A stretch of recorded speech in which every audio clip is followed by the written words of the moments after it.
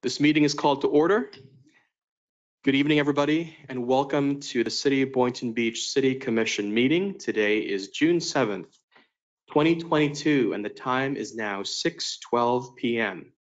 As with all of our meetings, to ensure that all voices are heard and protected, and the commission may conduct the business of the city, the rules of civility and decorum will be enforced in accordance with our city's decorum ordinance and Florida statute 871.01. When discussing an item, commissioners must first be recognized by the chair and not interrupt the speaker. We don't really have that issue. Public comments must be addressed to the city commission as a whole, not to any individual on the dais or in the audience. Displays of rudeness, insults, or personal attacks are strictly prohibited, and disruptive behaviors from the audience, yelling of any sort, and similar acts are not permitted. Uh, If if there's any disruptive behavior, as you know, there will always be a warning provided, but should they persist, we will take appropriate measures. If you are asked to leave for any reason, you will not be readmitted to the chambers. Madam Clerk, please begin the roll call. Mayor Penserga, I am here. Mayor Cruz, Present. Commissioner Hay, Present. Commissioner Turkin, Present. Commissioner Kelley. Here. Mayor, you have a quorum. Our invocation for this evening will be led by Rabbi Michael Simon of Temple Beth Kodesh, and immediately followed by the Pledge of Allegiance led by Commissioner Kelley. Um, I've been informed that we're having some technical issues with Rabbi Simon. So if we don't hear from Rabbis- Rabbi Simon, I'd like to ask for uh, Commissioner Hay if you could lead the invocation instead. Um, Rabbi Simon, we are ready. Let's all stand for the invocation and the Pledge of Allegiance. It appears Mayor, he's this frozen. is, uh, He's still having. Sorry, Mayor, this is Manny. Uh, We're still having technical issues with Rabbi Simon, I'm sorry to say. All right, we'll hear from Board Member Hay. Let us pray. Father, once again, we thank you for this day. We thank you for this liquid sunshine. We ask now that you be in the midst of this uh, commission meeting tonight, guide our minds and our hearts, that we may make the right decision for the betterment of this city and its citizens. Bless these staff members, uh, this entire commission. We pray that Boynton Beach will be the city that you would have it to be. We pray for those who have lost loved ones during this pandemic and pray for those who, uh, your hand of protection against uh, this monkey virus that's coming around. We pray, Father, that we will take precautions and wear our masks or whatever we must do to prevent this virus from spreading. We will be so careful to give you all the honor and praise. For it's in your Savior's name we pray. Let every heart say, Amen. Pledge allegiance to the flag of the United States of America and to the republic for which it stands, one nation, under God, indivisible, with liberty and justice for all. Thank you. Moving on to agenda approval, any additions, deletions, and corrections? Um, I have one small item to add. I'd like to hear and get consensus from my colleagues, how many would like to attend the National League of Cities Conference? So that'll be a quick item. Um, And I was re- requested from staff to remove item 7B. Let me pull that up. That is in relation to the intersections in Forest Park community. That item is not quite ready, so we're going to pull that. Um, But just those two items for me. Is there anything else from the other board members? Um, yes, I'd, I'd like to ask legal, can we table or postpone twelve B and twelve C? So um, legal, would you want to chime in? Yeah, you can um, postpone it. I don't know that there's a, there's a deadline on it. It would just need to be done uh, maybe at the next meeting or whatnot. uh, So we can, if we're going to use the property appraiser's tax collector, we can get it on uh, for the upcoming fiscal year. That's, that's what this is for. Great, yes, I, I'd like to get some more information about this, Okay. um, if that's okay with my colleagues.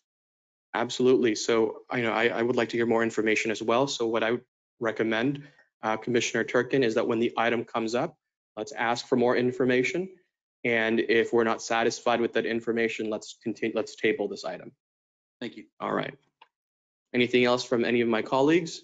Mayor, Yes, Commissioner. I had, um, I would like to um, I don't know where to put it on the agenda, but I would like to get an update on um, Harvey Oyer Park and the status of the, uh, the upgrades to, I was out there recently and there's rope up and there's holes in the ground and there's railings off of the docks. And I just am looking for an update on um, where we are in that, um, the update, the renovation process of the boat ramps and also the piers and the docks. Um, if we could get an update on that.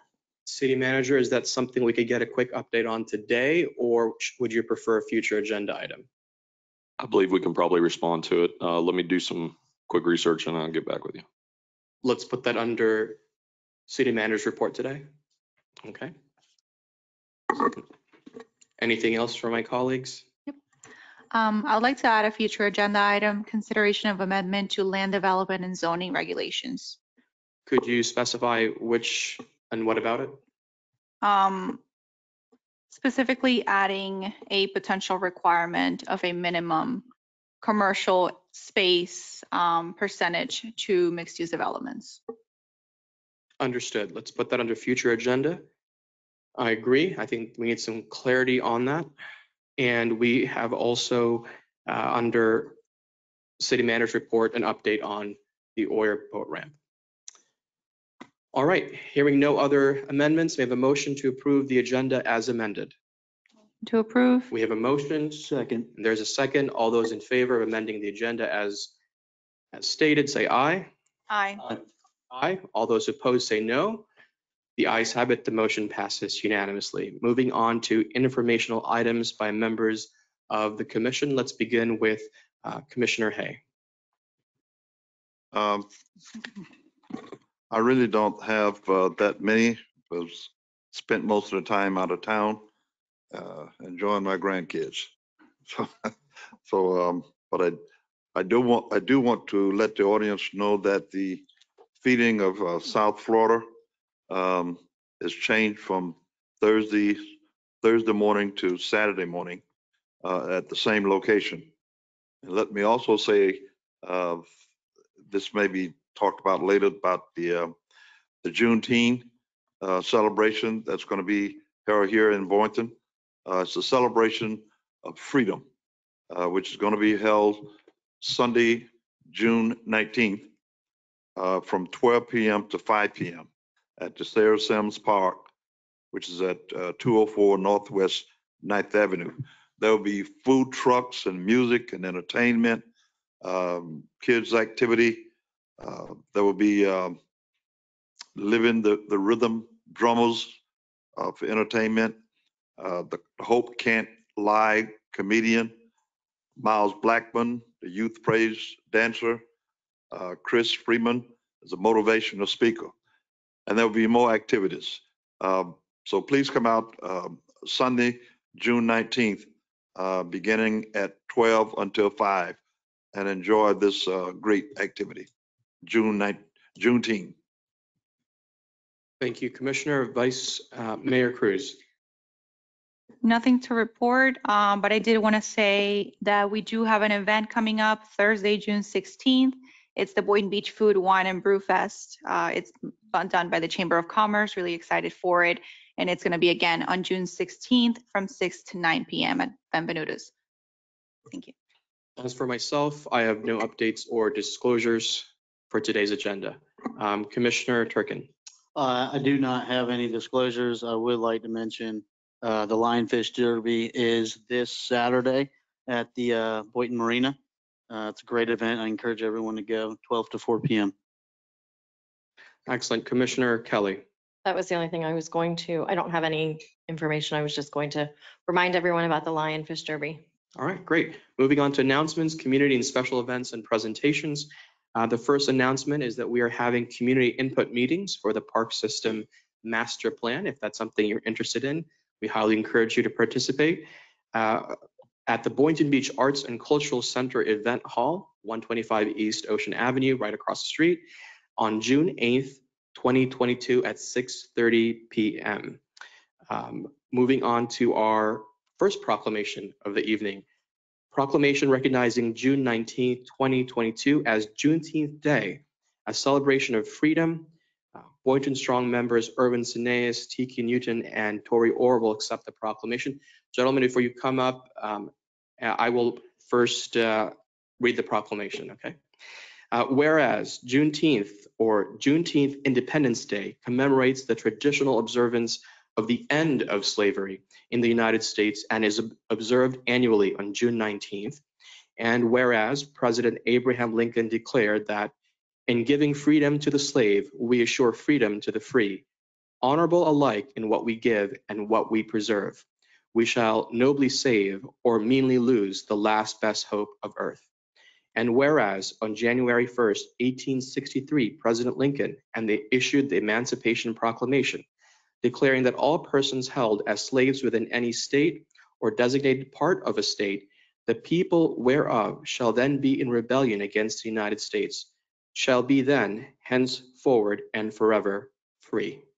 And whereas President Lincoln correctly believed slavery to be in violation of the principles of the Declaration of Independence and that its abolition represented a new birth of freedom for the United States.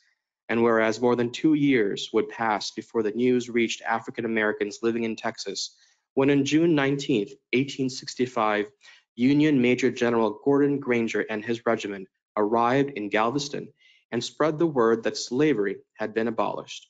And whereas the following year, the first official Juneteenth celebrations took place in Texas and have continued across the United States throughout the years, and whereas emancipation in Florida was proclaimed in Tallahassee on May 20th, 1865.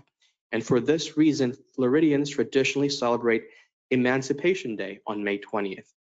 And whereas Juneteenth is the oldest nationally recognized celebration com- commemorating the end of slavery, and whereas Juneteenth is an important opportunity to honor the principles of the Declaration of Independence and celebrate the achievements and contributions African Americans have made and continue to make in Florida and across our nation. Now, therefore, I, Ty Penserga, Mayor of the City of Boynton Beach, Florida, do hereby proclaim and extend greetings and best wishes to all observing June 19th, 2022 as Juneteenth Day.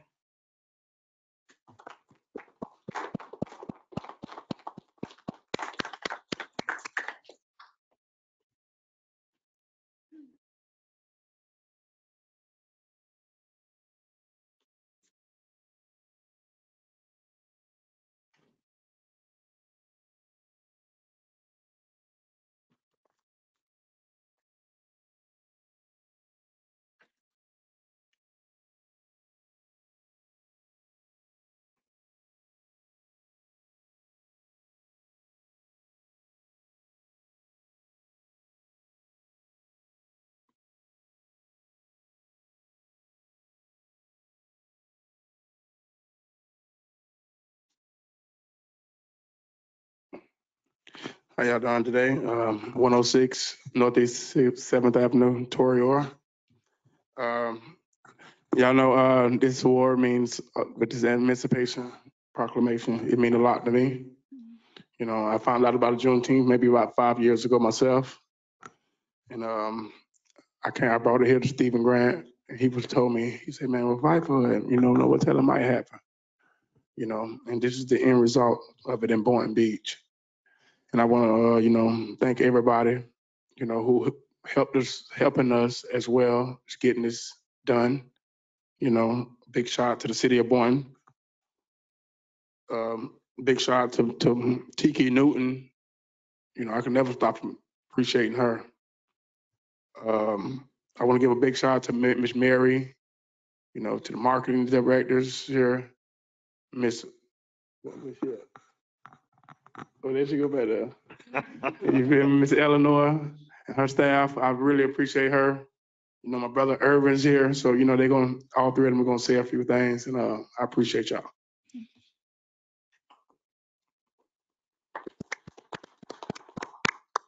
Um, Urban Sines, um, I won't say, um, much, but I also want to put in, uh, thanks to just the overall community and all the organizations in the community, especially in District Two. We're nothing without them. Everything we do is because of the community. So, um, we appreciate the community at large.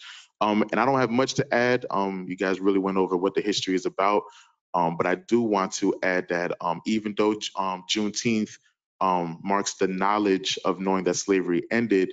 Um, a lot of the conditions that mirrored slavery, uh, such as Jim Crow, mass incarceration, suppressed civil rights, and just the overall fight against um, racism, um, still remain even to this day. So we use Juneteenth as a, a great time to celebrate um, how far we've come as a community, and also to be inspired to think about where we want to go and how we want this to to look going into the future. So appreciate everybody.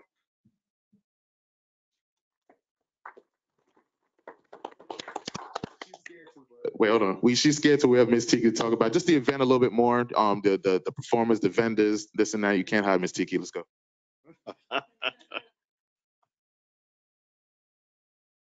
Everyone. I just want to thank the commission and the board members, especially the city of Boynton employees who we've been working so close with, Ms. Eleanor, Gabrielle.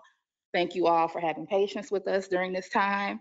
I am Tiki Newton. I am now a Boynton resident for the past four, five years. Um, and I'm coordinating this event. So it's been a lot of work for me working with Mr. Orr, but I love him.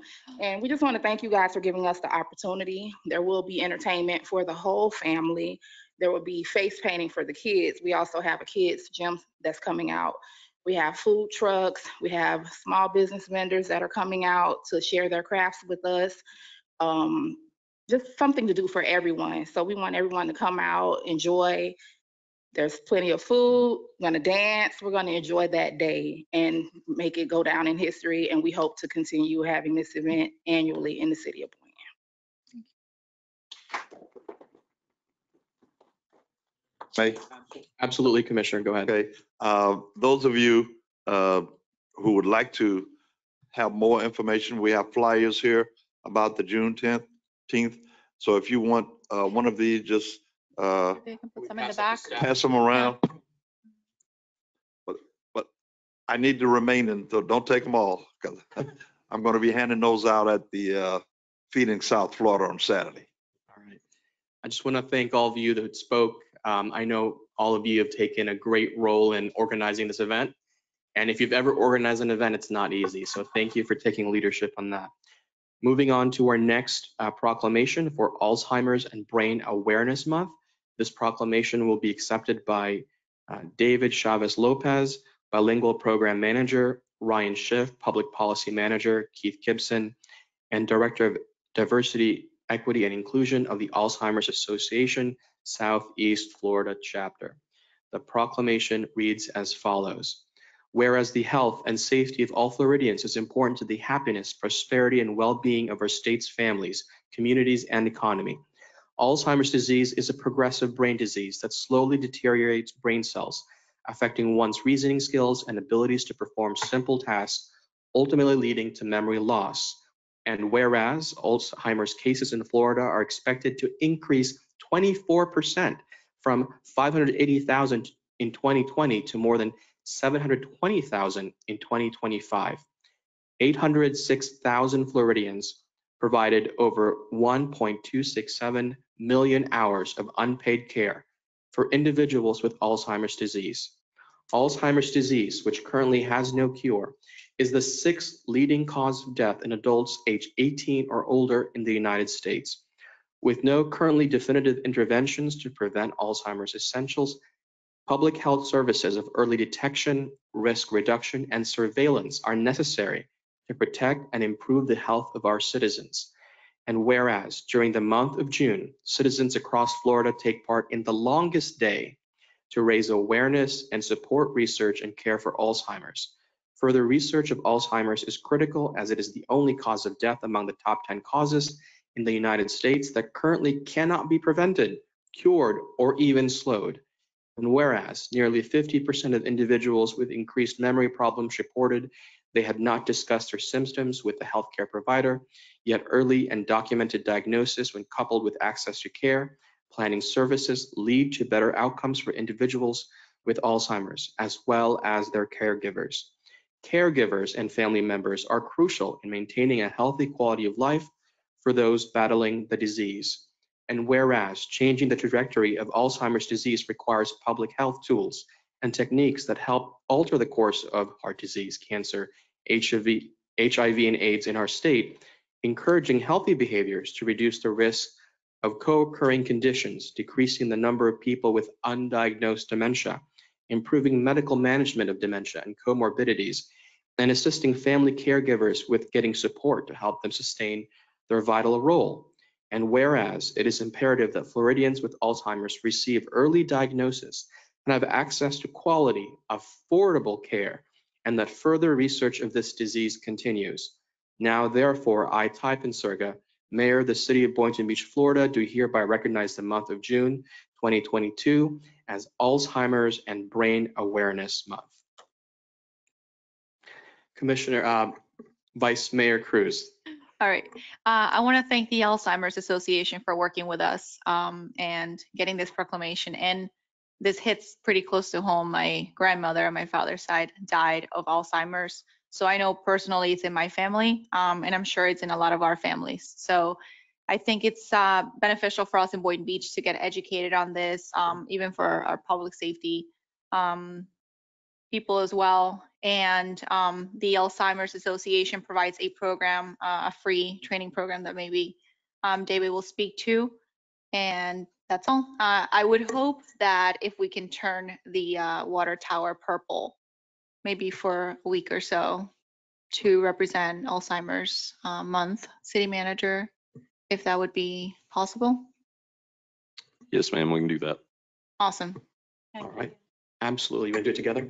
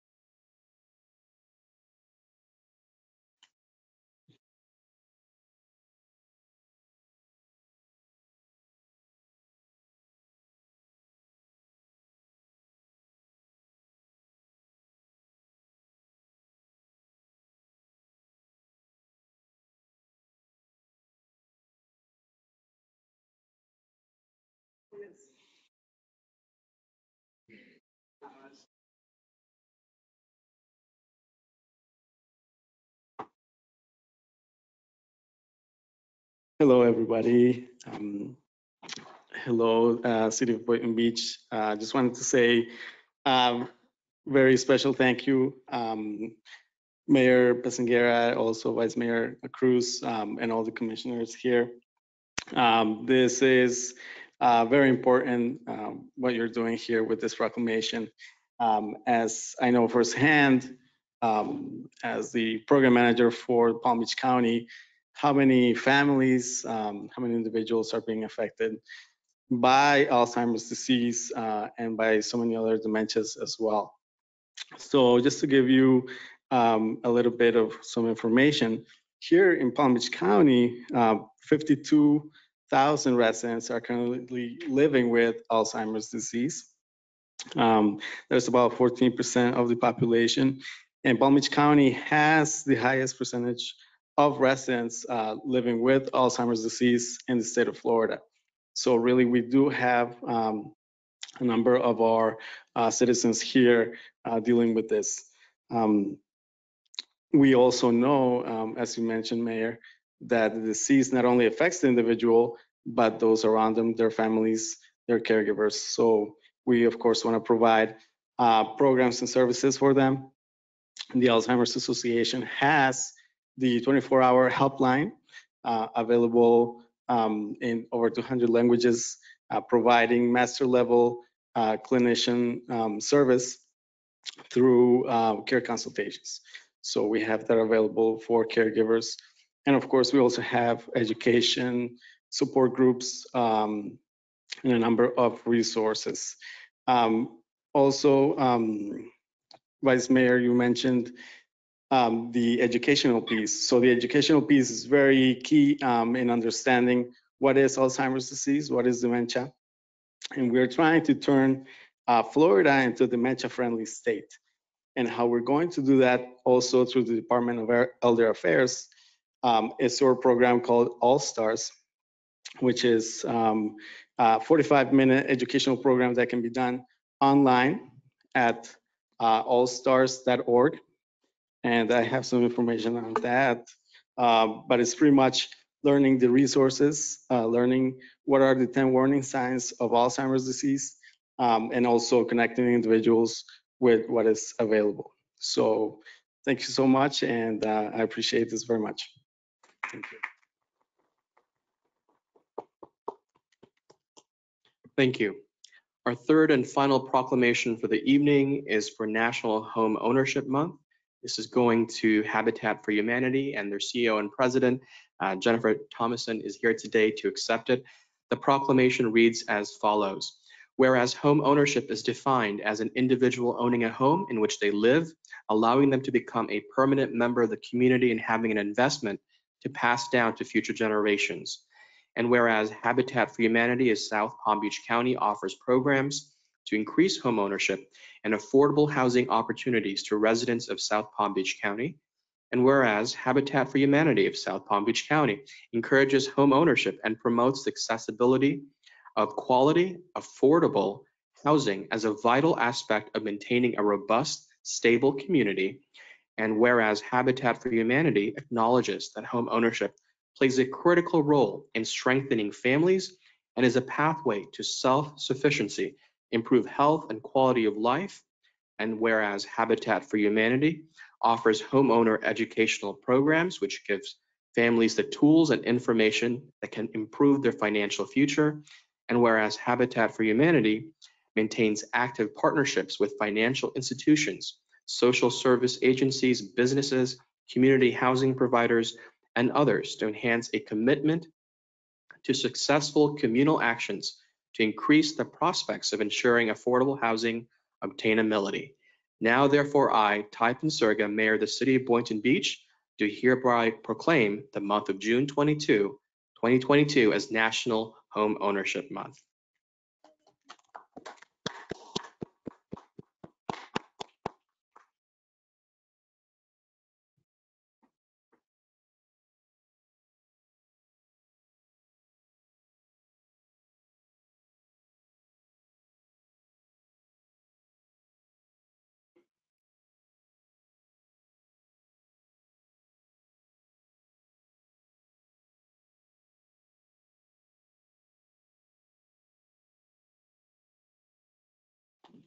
Good evening, everyone. Uh, Good to see you again. And this is very important to us. This is really the first time that we've ever done anything like this. And homeownership is a huge, um, a huge thing to obtain for somebody. We have um, 89 homeowners in your city, and we're about to have our 90th coming. Um, Out of all of our municipalities, Boca Raton, Delray, and Boynton, the most are in Boynton Beach. And it's because of the support of the city and everything you do to make sure that we have access to the land, that we are able to either bring new homeowners to the city or provide homes for your existing residents. So we are very excited about this. We have been surveying this area for since 1991, and we look forward to many more years working with the city building more in Boynton Beach and providing affordable housing for those that work very hard and, and work very hard to get themselves in those homes. So thank you all so much. I appreciate it. Thank you. Before we begin public audience, this is just a reminder that individual speakers are limited to three minutes per meeting. Uh, Public audience is not a Q and A. Uh, We, uh, members of the commission and staff, we will take notes of what's said today, and we will respond to them after the meeting has concluded. Uh, For those of you that are joining us virtually and wish to speak, please keep your digital hands raised throughout the duration of in-person public comments. After the in-person public comments have concluded, we will no longer accept virtual participants. I will also inform you, the virtual speakers, when you have 30 seconds remaining on the clock. Again, public comments must be addressed to the city commission as a whole, not to any individual on the dais or in the audience. Displays of insults or personal attacks are prohibited and disruptive behaviors from the audience, yelling, that sort of thing, and similar behaviors are obviously not permitted. Uh, let's begin with our in-person public comments. If you'd like to approach the podium, we have two on both sides. And I'd like to ask if, uh, Chief, if you could move over, blocking the timer just a little bit. All right, I see Bishop Wright is on the podium. Begin when you are ready, sir. Good evening, everybody on the dais, Good evening. city manager, attorney, and all. To God be the glory and audience. I, I, I no, I don't know if I could do this in three minutes, but let me say, first and foremost, I want to talk about two cultures were taken from us. We want to see restored. Baseball, we want to get that diamond back, and we want to get diving boats. We want to renovate that pool. Y'all made it a kiddie pool. You all didn't. But thank God for you all. Now we're talking about history being made. We getting restoration because these two cultures are very serious and nobody's really talking about it. I've been talking about it for nine years. We need to get the diamond back. Thank God for our chief there who's committed himself in his word with every resource he has. He loved baseball too. And God knows I loved it. Played it too, to bone. Listen, and so uh, when we did the free summer camp, we was able to start these children playing baseball out there. And man, you'll be surprised. And one day they was hitting and catching. I mean, amazingly. But at any rate, those are two things I'd like for y'all to put on this agenda. Let's get together in that respect. But I want to talk about something real quickly about fatherhood, some facts on this, okay? 24 million children live without their biological fathers. Approximately 86% of men in jail and 98% of all men on death row were raised by one parent, single mothers. About 40% of children in father absent homes have not seen their fathers at all during the past year. 20% of absent fathers live in a different state than their children. 50% of children living in father absent homes have never set foot in their father's home. Now, this is a research come from research conducted by Dr. Catherine May for the March of Dimes found that- father's behavior had a direct impact not only on the mother's willingness to seek early and regular prenatal care, but also on whether or not she used drugs during her pregnancy. And being a parent, is how serious it is. Now, this brings me all the way around with the minute and 19 seconds I got. We still on the move. We haven't backed up. We're in a hurricane in the center of that storm right now, but it's coming. The flood is coming. To God be the glory. About justice and equality for SJ, for this community, my family, and everybody's family in this city. So we're not quiet in respect that we've forgotten this, pass on this, because this is as serious a matter as anyone who have ever fallen by systemic racism, white supremacy. The face has nothing to do with it per se. If you're promoting it, if you sit there and you are silent, then you are down with it, one way or another. So we're talking about justice and equality in this city. Let's get this IA conclusive. We don't want to wait till the whole 180 days. I would like to see them stop at 169, 170, not just go to the 180 because that would show me purpose for the done. So uh, let's put in mind these two cultures we got placed back in Boynton, or we'll never see Boynton together again. Culture and history is so very important. Without knowing anything about it, you're like a tree without roots. You bear no fruit. God bless y'all. Have a great day. Enjoy. Thank you. Next speaker. Good evening. Good evening. Hi, um, I'm Cassandra Corbin Thaddeus, again from Connect to Greatness. And you all know our organization. I talk about it a lot. It is to inspire and empower African-American Black male students to be leaders and change makers in the world. Um, what you all might not know, might, not know is um, over the last couple of years, um, due to everything people have already kind of laid out in terms of statistically um, what's happening in the systems, especially education and others where our Black male students sit and um, where they live. Uh, there, it's very complicated in terms of the um, the stressors that our students have, um, including uh, those in the system as well as health, all the things that we all know about. And so one of the things that we did over the last couple of years is introduce um, uh, mindfulness and yoga to our students. And we found that that was a new solution that our, many of our students had never even experienced before or knew was available to them. And so having act, having had that access really gave them some new coping mechanisms and some tools for themselves. And so one of the things that we wanted to um, have my friend here, Pablo um, Del Real, he's going to talk a little bit about um, a partnership that we are forging because what we want to do is is really make this tool available to more students here in Boynton and specifically at the high school. Um, we work with students right now uh, at Boynton Beach High School, and so that's one of the things that we want to share with um, all of you today. So. Yeah, thank you. And my name is Pablo Del Real, and I'm here with my friend Cassandra Corbin to talk a little bit about a, a problem uh, and a solution. I think a lot of us are aware that youth mental health, mental wellness is in crisis. Uh, There is a youth mental illness crisis. We see it in different ways. Uh, We see it on the news, uh, and uh, we don't see it in many ways as well. It's hidden oftentimes. I'm with Soil and Soul. We're a local nonprofit agency that teaches mindfulness and eco healing. I'll just stick to mindfulness for tonight. But mindfulness thumbnail sketch is the supervision of attention. So we work with high school students through high school mindfulness clubs, and we teach them how to supervise their attention, where to put it, where not to put it, how to regulate it, how to manage the thoughts, the emotions. You know, you might not uh, know the numbers, but we have anywhere from 5,000 to 50,000 thoughts a day, most of them negative, most of them repetitive. And if a high school student is not in an environment with strong social bonds that can help them regulate those thousands of negative thoughts every day, uh, that can that can be very stressful, can be uh, depressing, can be very anxiety uh, driven. So when we work with high school students in high school mindfulness clubs, we teach them how to manage their attention, which also alleviates the depression, the anxiety, and the stress, because those are attentional disorders. Too much attention on the past, depression, too much attention on the future, anxiety, inability to be present in the moment. So we want to bring together a mindfulness club to Boynton Beach High. I've been working with students at Atlantic High and Delray Beach for four years now. We've been at Inlet Grove at uh, High and Riviera Beach for also four years. We've been at Lake Worth for a few years. Uh, we're at John I. Leonard this past year, and we want to come to Boynton Beach. So we're here to invite you to support us on this journey. We don't know exactly what kind of support we're going to need yet, but we know we'll need some. Uh, and we uh, will will appreciate your guidance along the way to support our young people in finding belonging that they need uh, and finding the ability to regulate uh, their thoughts and emotions in healthy ways so we don't end up with uh, violence here at Boynton High. Thank you.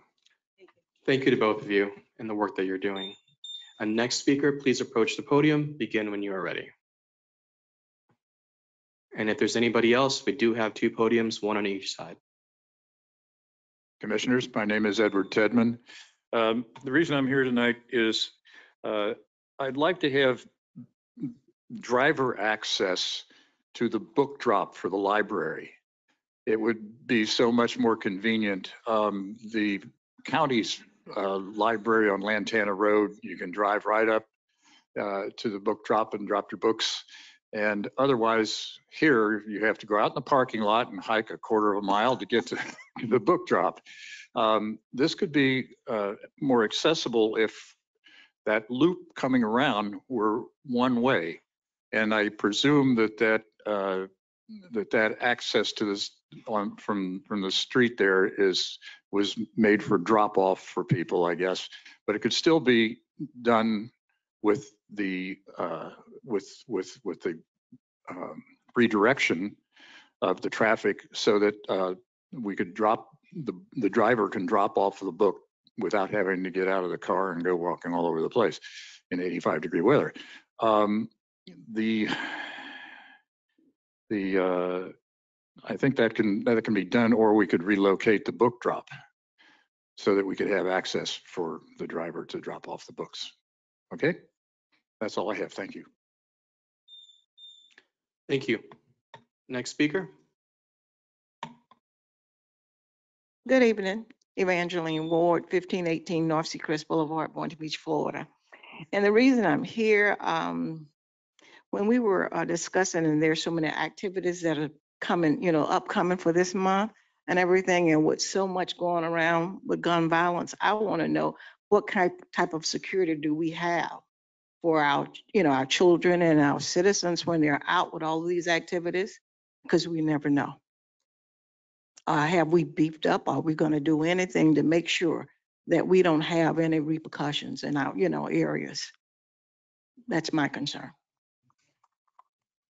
Thank you. And, and just so you're aware, the police chief is in the back, so if you want to reach out to him, we can answer that question very quickly. Uh, Yes, sir. Please begin when you're ready. Good afternoon. My name is Rick. Um, I bring a concern uh, not only to the uh, kids that ride trail bikes, but to the public in general. Um, As this gentleman back here spoke of a kiddie pool being turned into a swimming pool and a diamond refurbished for use as baseball, I bring another suggestion so some of our kids that drive trail bikes don't have to die. And that is a local, easily accessible place to ride a trail bike where for a permit that affixes to the bike, you have use of that facility. Two, a law on the books structured saying that a gentleman or female with a trail bike has free passage on a city street to go to and from the riding area and to and from a place to get gas for their dirt bike to keep them off the street and give them a constructive place to play with their toy. That's all I have. Thank you. Bryce Graham, Second Vice President, National Action Network, Central Florida Chapter. 163 days, we have come to this place with one demand, and that is the demand of justice for Stanley Dale Davis III. Martin Luther King said, justice delayed is justice denied. And there's been a delay in this city when it comes to justice. We've called for the firing of the officer of Mark Sohn, and we have nothing. We've called for charges to be brought against him, and still we have nothing. I've come tonight to say that we have waited long enough. And we cannot wait until 180 days for you all to make a decision in this city, which is so visibly and clearly a violation to you all's policy and procedures, which this officer has viciously violated time and time again. Might I say, I have sent a letter to all of you commissioners about moving forward with police reform, bringing in an expert, and still I have not heard from none of you. It was a suggestion and an introduction with somebody who I have worked with across this country and in the state of Florida, who knows how to bring about police reform. And so I would ask of you to give me a response because when you engage with change, you bring about change. And when you work with those who work with change, you will see about a change in Boynton Beach. Thank you so much. Next speaker.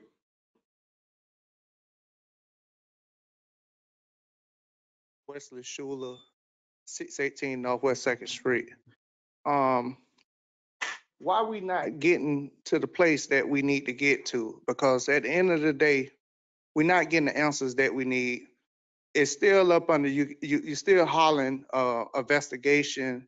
And the guy, it's time to the point that it's time for him to go. And if his record is where they say his record is at, why are we not trying to make a move? Because it seemed like we still paying for him to be on vacation doing nothing. And nothing is not gonna bring nothing to us by y'all just sitting around kicking the can down the road. This is now the time that y'all need to deal with this situation because it seemed like y'all maybe be trying to cover this up and we're not gonna go nowhere. So you could deal with it or we gonna deal with it another type of way. And the way that we're gonna deal with it, it seems like we need to bring other people in because it seems like we're not getting the answers that we need. As a city manager, I understand you done had one chief resign, you done had another one resign. So we don't want to hear about that. The investigation is stalling right now. We need this guy fired. And if somebody send you an email, why y'all not responding to none of the emails? And as you, the mayor, vacation is over, the school is closed. So you should be on your business, handling your business, because we want answers. And if we can't get no answers, I don't know what we're gonna do. But I know it ain't gonna be with the Lord, gonna be with you.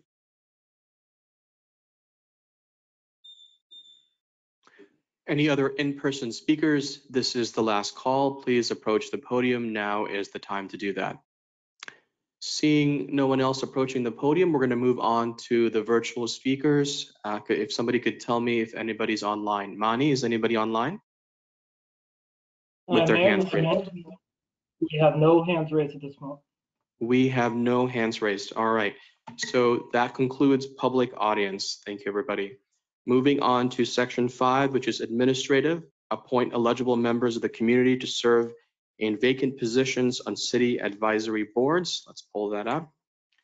Beginning with the Building Board of Adjustments and Appeals, uh, Commissioner Turkin, uh, you are the first, and we have an app- applicant here. It is Alexander Ranbaum. I believe Alexander is the only applicant, correct? That is correct. I'd like to move forward.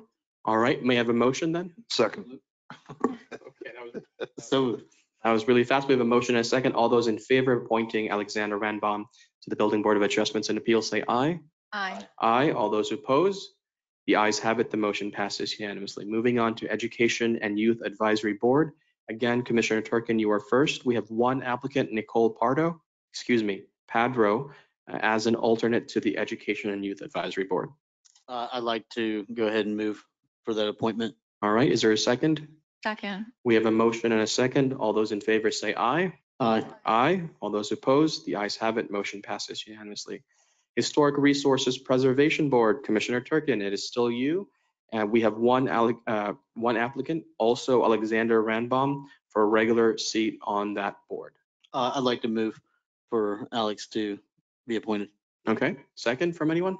Second. We have a second. All those in favor say aye. Aye. Aye. All those opposed say no. The ayes have it. Motion passes unanimously. Moving on to Library Board, uh, Commissioner Kelley, you are up for an appointment for a regular board seat to the Library Board. Nicole Padro is the only applicant.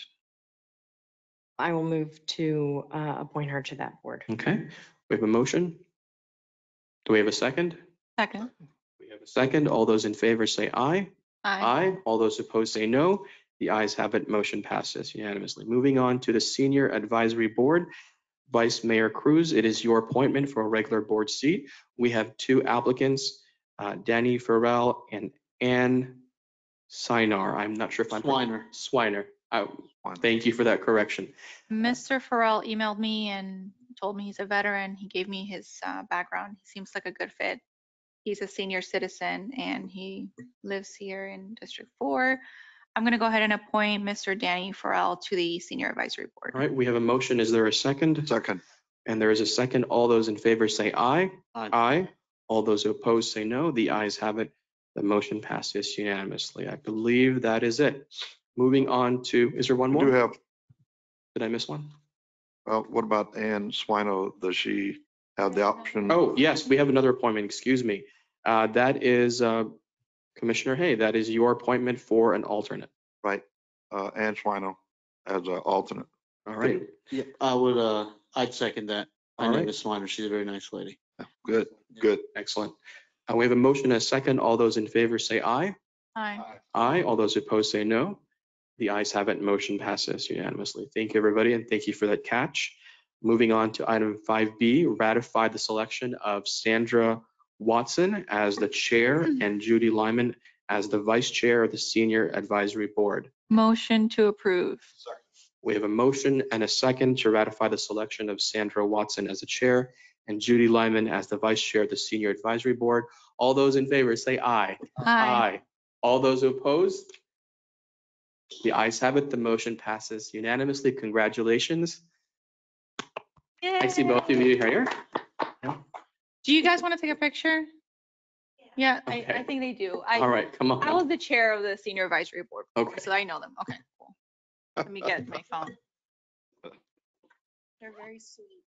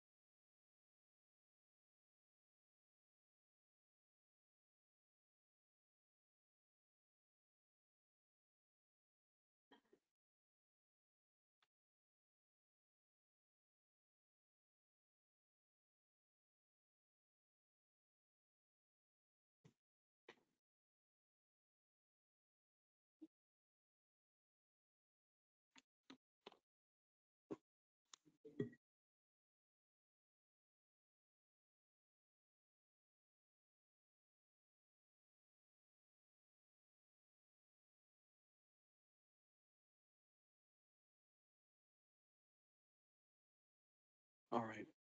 You're very welcome. We are now moving on to consent agenda. Are there any items under consent ag- agenda that members of this commission would like to pull? I Yes, know Mayor. I would like to pull item E. E? E. Okay, all right. And, and for yourself, Commissioner? Uh, no, that's the same one I was Same gonna one. pull, it's E. H. I, want to talk about six H. Six H. Let me pull that as well.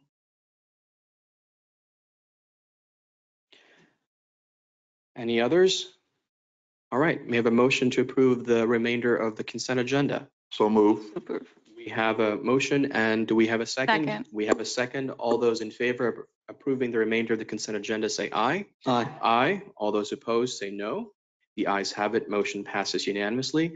Let's address them in order. So item E reads authorize the finance department to reduce the allowance for uncollectible accounts and the accounts receivable accounts by one million ninety-six cents. This amount reflects the unpaid ALS transportation billings that have been in collection for 12 months or longer. This write-off is for 2017 uncollected EMS transport revenue. And I see we have our fire chief here. Uh, Could you tell us about this item and we'll address questions uh, from the commission? Absolutely. Mayor, Vice Mayor, and Commissioners. Hugh Bruder, Interim Fire Chief.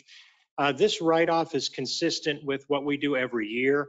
Uh, We are uh, obligated by uh, state ordinance, by state regulation to write off any uncollected EMS, ALS transport revenue within four years. Uh, This particular write-off of a million and nine dollars is actually 30% of our transport revenue. Uh, Last year, we wrote off $763,000, which was 33% of the transport revenue. So it's actually a little bit less than uh, the prior year.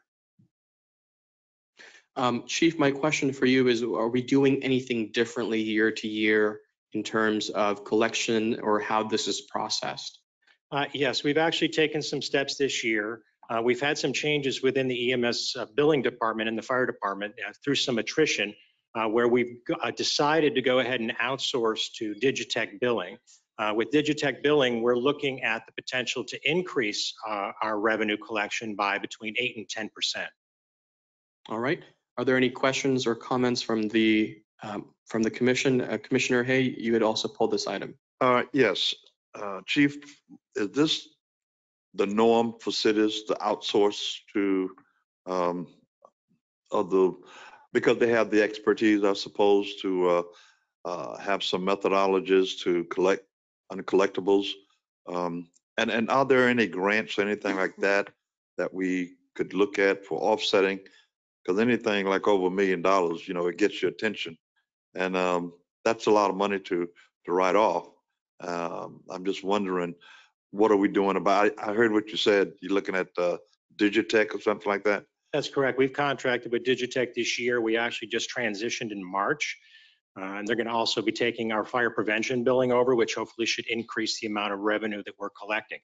These write-offs are fairly consistent with, with municipalities, you know, throughout the South Florida area. Um, These are uncollected funds. Now, what, what we actually did prior to this was that once we do the billing, we try to collect the billing for six months. After that point, we send to a collection agency, which tries to collect for six months. Then we actually get the money, back, and we get the accounts back for six months where we go ahead and try to collect those funds again. After that point in time, we hold that as uncollected debt on the balance sheet. So it, it's already shown from a financial aspect as uncollected debt. So it actually has no financial implication to the budget whatsoever, other than the fact that we would love to collect this money if we could. But that, again, that is consistent with what municipalities um, are facing throughout the South Florida area. Chief, have you been able to categorize uh, the lack of uh, receiving funding in terms of area, ethnicity, or income, or is it the pandemic? Uh, What, what's, what- what's the, the ground cause of it? It's just a lack of funding? Uh, I, I think what, what is being seen across the South Florida area is a lot of these transports are, are um, unfortunately, we're dealing with folks in, in lower socioeconomic strata. So there's, there's an inability to be able to pay these transport revenue fees and, and they're, they're quite costly for an ALS transport, somewhere in the seven or eight hundred dollar range. So we're just finding that individuals just don't have the ability to pay. Um, One of the other things that we're looking at is actually trying to sell this debt to a company. We may only get pennies on the dollar, but it is a way, and I've spoken to the finance director of, of the possibility of this opportunity to see if we can at least capture some of it. But unfortunately, as I said, it's, it's very consistent across the board in the South Florida area. If I may add, um, it's not just the South Florida area. This is a global issue across the country. This happens with every fire rescue department that does transport, and some are writing off much more. Um, It's speculative to just assume the socioeconomic is the other part. I want to make sure that we understand that, you know, there's, there's maximum billing for Medicare, Medicaid that will not compensate hundred percent of that. So some of that write-off involves those types of things as well, just to give you a full perspective on, on what that looks like. And obviously, you know, I said it, the fire chief's on before. So. Thank you. Thank you, sir. Any other questions? That's it for me, Mayor. All right, any other questions or comments from my colleagues? Hearing none, may have, thank you so much, Chief. My I have a motion to approve item six E. Motion to approve. Second. We have a motion and a second. All those in favor say aye. Aye. Aye. All those opposed say no. The ayes have it. The motion passes unanimously. Moving on to the next pulled item, which was six H. It reads proposed resolution number R twenty-two 75 Approve and ratify the collective bargaining agreement between the city and the Boynton Beach Association of Firefighters, Florida Local eighteen ninety-one of the IAFF for the term October first, 2022 through September 30th, 2025. Uh, City Manager, would like, would you like to begin by giving a brief overview? Yes, um, I actually was interested in, in what Commissioner Turkin may Oh, that- have to. that's to say perfectly fine with me, I'll Commissioner. Ask you to take it from the top. Okay, I can do that. Um, so a- attached to your background information is certainly the fiscal impact. Um, let me highlight some of the, the benefits of this for the community.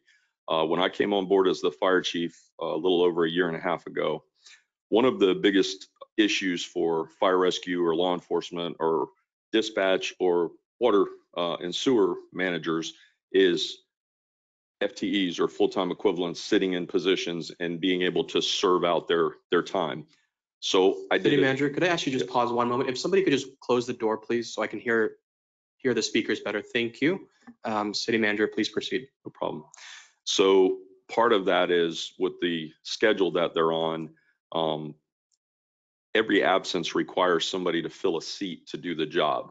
Unlike an office setting where maybe somebody else picks up the phone or picks up the responsibilities of someone, in the settings that I mentioned earlier, a, a human being has to be in that position to be able to serve the citizens.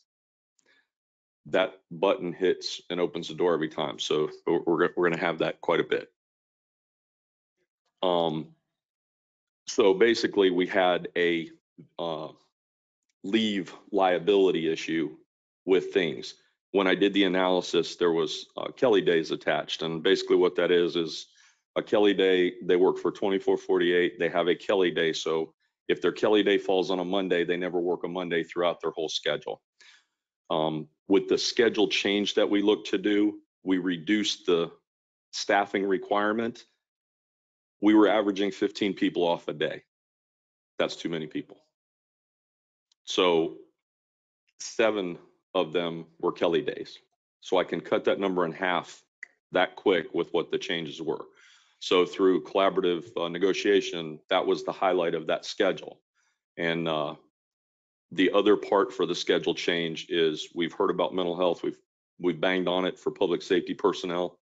Part of mental health involves decompression from the workday. So 24, 48, 48 hours is not enough to decompress, especially when I'm having to call people back in on overtime to cover those seat positions. With this schedule and with this staffing level, we won't have to do that. So that that's the highlight of the schedule side of that. It's a three-year contract for salaries and uh, the front end is the load. I know what the economy is right now. I don't know what the economy is going to be in the next two years. So through a collaboration with the with the local, uh, we were able to build in some safeguards so the city's not writing a blank check and and having difficulty going forward. So I'm I'm proud and, and honored to share that with you. Everything's front loaded this year though, and uh, we we had finance at the table, we had HR at the table, and we got to answer all those questions that I had about okay, how does this funding work and are we there and is it going to be sustainable? And the answer is yes. Um, some other things that are built in with this schedule is uh, it allows for a better accountability process. There is direct supervision of specific people under direct supervisors. Uh, that was one of the other concerns I had walking in the door is that it's very whole, hard to hold people accountable when you don't have a adequate span of control of supervision to, to subordinate. So now with this built-in system, it will better meet that span of control necessity. That's pretty much the highlights of this. Uh, with with the savings of a million dollars in overtime, we reinvested it in going after the scheduling and the salaries and things like that. There still is certainly a cost to it, but I will tell you that the city of Boynton Beach becomes the destination fire department in this area. And we will attract the best and maintain the best fire rescue employees with this, this contract. Thank you. All right, Commissioner Turkin. Um, so, so I understand, like, you know, to kind of get back to the mental health point that you made. Currently, our firefighters are twenty-four forty-eight, and this would put them at twenty-four seventy-two. Correct. So we go from how many days a month to how many days a month? I believe it's 10 to 7, but the easier number is they go from 2,496 hours in a year. Mhm. The average worker that works 40 hours a week works 2,080. We go from 2,496 to 2,190 in a year. So we're still above the, the 40 hour worker. The, the average work week comes out to about 42 hours, just for math, math sake. So um, it- it's closer to a 40 hour work week for somebody. The three days of decompression though, where I'm not having to call them in on overtime, is, is really a, a huge deal. Having done this job for 38 years, I will tell you that that is, that is a big deal. Being able to spend time with their families and do those types of things is, is really important. When they get mandatory or held over or those types of things, they don't get that opportunity. In this situation, we probably will not be in that situation Right. routinely, which we have been as of late. Right. Um, that's good. Uh, no worries. Um, my, my next question is, we, you know, to make this happen, we obviously need to bring on twenty-one full-time firefighters. Excuse my ignorance as far as hiring goes. Um, do we hi, do we have part-time firefighters? Is that? We do not. Okay, is that, is that a norm or is that something that we don't see? Because I, say that because I know we can alleviate the cost of benefits if we're not hiring full-time employees. And so I don't know if that's even feasible. I'm, I'm just thinking from civilian side, Right. you know, what we can do to kind of save, I, think I save some understand. dollars. Yeah, I, I, I think I understand what you're asking, but the answer is we probably would not get people to be Right. part-time firefighters. It'd That's- like, be like asking somebody to be a part-time police officer. Right. The fire rescue business, EMS, police is all career service. So um, th- those folks would be hard pressed to, to work in a part-time setting, especially in this day and age where, you know, it- it's kind of like volunteerism. It was a really good thing through the years, but most people can't leave their job and go get on a fire truck and go help people like they did back in the day when the community, it was a community fire department like that.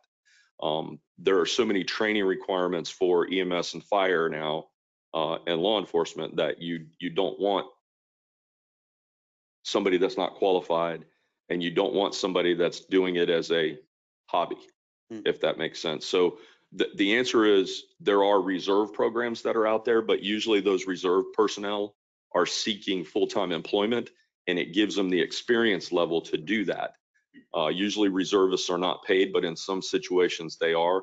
I'll tell you where most of the time that works is in a college town where they're able to capture students that are going to be there for a specific time and they give them benefits in the way of tuition or housing or things like that to help them with their educational pursuit. So they serve as reserve firefighters or volunteer firefighters in that setting.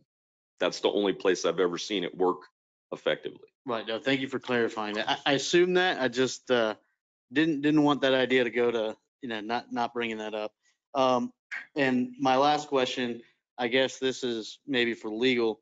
Is there a way, and I don't want to speak too prematurely, is there a way that we could allocate some of these ARPA funds towards, can we alleviate some, of some of those ARPA funds toward this line item? You know, I, we haven't been involved in giving, you know, reviewing those ARPA funds, but that's something we can look at with administration and see. Um, I'm not sure though that it's any, it, it, it, it- the, the use of ARPA funds have been widened to make up for lost revenues. So it's, I'm not saying no, but I would have to look at that. Okay. And I will tell you to the best of my knowledge that it cannot fund personnel. It could fund stations, it could fund apparatus. Right. It cannot fund people. So that, that I understand and, and I know our finance director is in house. I don't want to put her on the spot to answer that, but I believe that that is the, even with the expansion of the abilities, it's still focused on brick and mortar and apparatus and that type of thing. So we could play around with the budget. Um, I hy- wouldn't- hypothetically, I, I don't want to speak too much. Yeah. premature. I I, get- I understand your terminology. Thank you. Yeah.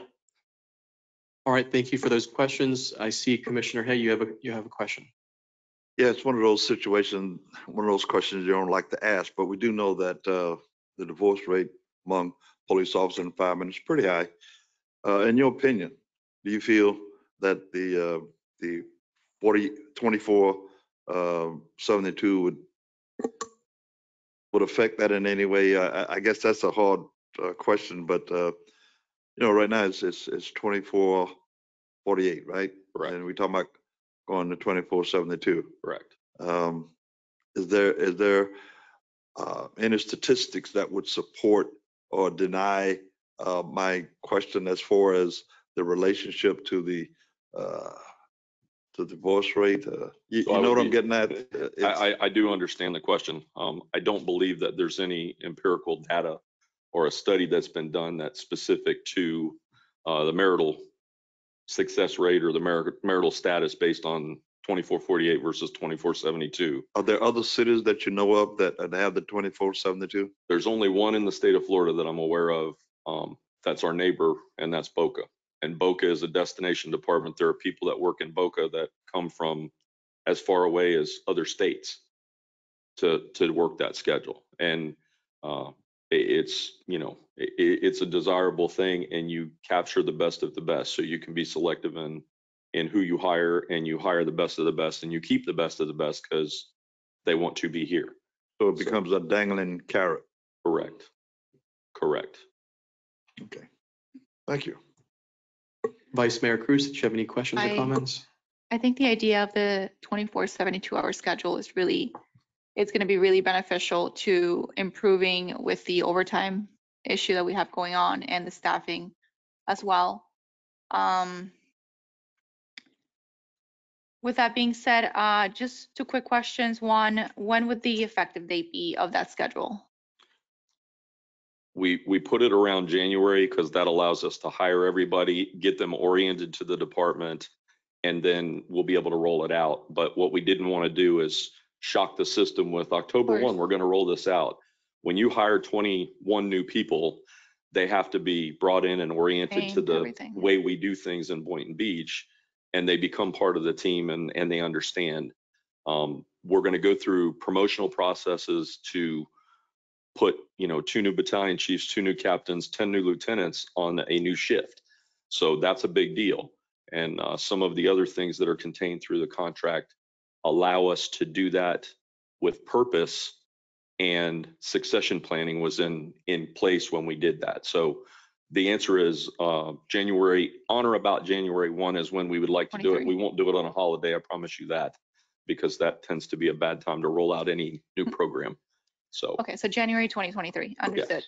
And then um, what parameters are we going to use to make sure that we hire, like, we don't want to do this to benefit out of state folks. We want to make sure we benefit local people. So what are we going to do to make sure that this new great schedule is, there's an opportunity for local people to take advantage of folks are not eligible unless they're Florida State certified firefighters. So it would only be state of Florida certified firefighters and paramedics. Can we give preference to people that are in Palm Beach County or maybe if we have? Can't answer that from a legal standpoint, but I know that in other agencies that I've worked for, there were bonus points given to people that were local in the city, in the county, that type of thing. And it was a graduated scale that did that, but uh, I don't know if there's any rules here specific in this area that would address that. I- Again, I could work with the manager and see whether there's a- an ability to put that in place. Might be Awesome. something that discussed with the Yeah, it'd be great to help the economy here and that's all. Thank you. Thank you. City manager, approximately how much did we pay in overtime last year? Uh, I believe we spent $1.8 million. $1.8 million. And with these changes, are we going to be significantly reducing overtime? We will be probably $500,000 as a maximum. Okay. in the budget For the process. So it's year. really one point three that we're actually recovering in, in the process, but we put one million to be uh, cautiously optimistic or conservative. But I believe that we'll see a, a better return than that. Okay. All right. That answered my question. Uh, Commissioner Kelley, do you have any questions? I just had one question. The, um, so the, the new schedule change is not immediate. You're waiting until you have the additional personnel and how, I mean, we hope that you can hire 21 firefighters by January, but what happens do it. if you're not? I, I I promise you, it'll, it'll happen. It- Have One lines the week, door. one week of opening Wow. and we've had forty applicants. So we're probably going to see hundreds of people applying for twenty-one positions. And how long is your hiring process? Well, we have condensed it, so Okay. uh, it, it will be a quick turnaround. We intend to have the folks starting by October 1st. So I have October, November, and December to have them through an orientation process, to have them part of the staffing on the floor, and to actually have them as productive members of the team. So certainly when you hire somebody brand new, they don't hit the ground running in this business. It's no different than FTO process for police. So these positions are posted and you're actively, June 1st, we started with the, with the uh, recruiting process. So thank you. you're welcome. I just want to say a couple more things. Um, I talked to a firefighter from a different municipality and, and we were talking and, and, you know, she had brought this up and she was saying like how pivotal this could be for her municipality and other municipalities. Because she did mention that Boca was the only other municipality that works this schedule. So when we talk about mental health and not just, you know, for our firefighters, we have police officers in here too. You guys go through a lot. And so whatever we can do, I think to alleviate that is great. We're gonna save some, you know, we're gonna, we're gonna, we're gonna save, you know, about a million dollars in OT, which is fantastic. Um, my last point is, this is something that I believe you and I have discussed. And I, I don't believe, I don't know if it was you or Chief DeGiulio that had brought it up when you were entering, uh, interviewing for the city manager interim position. But utilizing our firefighters in other avenues to help with city operations. So I don't know if that's something that we can do, bringing on 21 additional personnel. My thoughts are code enforcement. Um, I don't know what, you know, what the legalities are with that, but assisting other departments with that. Um, obviously, you know, they're on call, they have to be ready to go. I understand that. I don't know if there's anything that we can do to assist our sister departments. Well, it's, it's a mindset and, and I will tell you that, you know, previous agencies I've worked in, firefighters tend to contribute and jump in. Uh, most of, most of the firefighters know how to operate heavy equipment and hand tools and power tools and all those things. So, uh, they're beneficial when, you know, we're doing things in, in the community. Um, clearing drain lines, we rescue ducks out of stormwater. I mean, we, we do all those things, but the answer is we're, we're well versed in all aspects of that. And the answer is yes, they, they can step in and assist in those things. We don't ever want their primary mission to get muddied by what we do, but we put people in a position to help. And that goes for every city employee. And I've seen that since I've been here, that every city employee contributes where they can. So I, I couldn't be more honored to, to lead a bunch of folks that see service as a real thing, that they, that they take the opportunity in front of them to assist in making the city, you know, desirable and, and livable. So I hope I answered your question. Yes.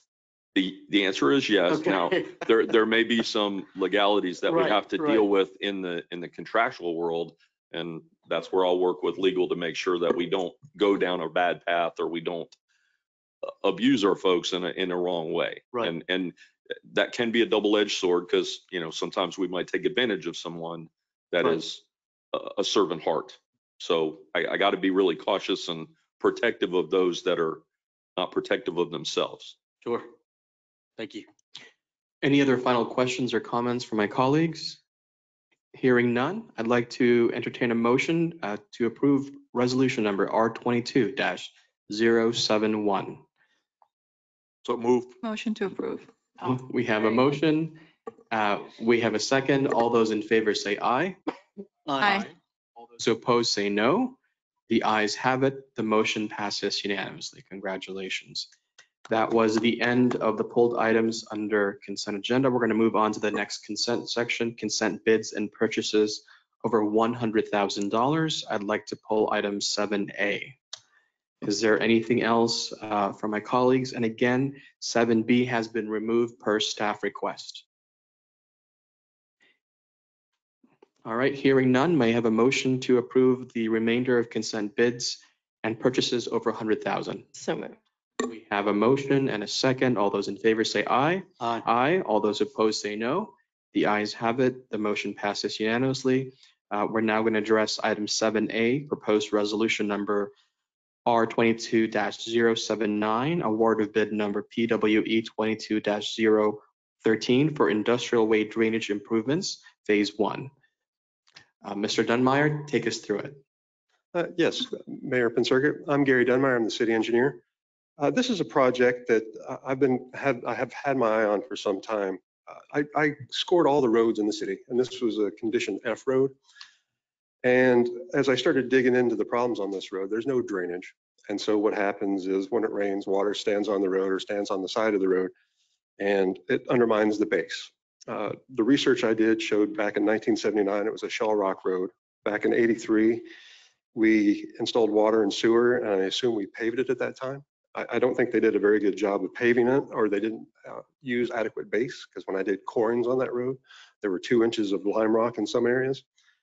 And since the road was done in 83, it hasn't been resurfaced. Uh, It's been patched and pothole fixed, and then waste management moved in, and they have some very heavy vehicles that use that road quite a bit. So in order to make the repairs, uh, we're doing 640 linear feet of paving, and we're also uh, installing drainage where there was none.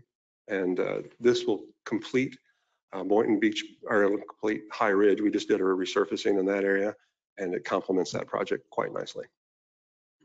Thank you. Um, I pulled this item because when you see, and I think it was Commissioner uh, Hay said earlier, when you see a million dollar sticker, it, it definitely stands out. Could you tell us about how we're spending that money? I mean, is this a one-time expenditure or is it spaced out over time? I, there's no question that drainage improvements are important and paving. Um, but tell, tell us how you're going to use it. So what happens i- on this project, well, roads usually have a lifespan of 15 years. So when I say that this road hasn't been touched in, uh, since 1983, that might lead you to the proper conclusion that the road was in dire need of service. Uh, So uh, what'll happen is when we resurface this road, it'll, it'll be well uh, suited for the vehicular traffic that's using it, uh, and it'll have drainage. And so for the next 15 years, we shouldn't need to do much to this road unless there's some type of um, you know, like a vehicle falls on it and puts a long scrape in the asphalt, then we'll retouch up the surface. But we shouldn't have to touch this road for 15 years. All right. Any other questions or comments from my colleagues? Um, nope, I think, I think, uh, we're being proactive here. Uh, We talked about that with our vision. I do want to make a comment on something not related to this since I got you up here. Uh, the Forest Park project, I believe that was pulled today. Um, I am a little bit disappointed because that was going to be up for approval for, from us. And when we were at the last Forest Park meeting, which is my neighborhood, um, we were told, you know, and I'm saying this as a resident in the neighborhood, not as a commissioner, we were told that y'all were going to come back with our feedback and uh, conduct another meeting. Yeah, we're intending to do that, sir. Okay. Uh, That item was pulled because the way I procured it wasn't quite right, and I want to make sure we follow the rules. Um, But the idea is we're going to have the uh, raised intersections designed, Hmm. and that's what this contract was going to do. And then after I had the design, I wanted to share it with the residents of the neighborhood and let them have an opportunity to, to comment on what we're doing and what we're proposing. Right, but before we approve to pay for anything. Uh, Well, I have to get a design in order to share that design with the Right. public. But yes, sir. So, okay. um, Okay, I, I want to connect with you on that. Okay. And, and, and Jim, if that's possible. Thank you. Yeah, it's a good project. I'm happy to do that Yeah, with you. thank you. Yes, sir.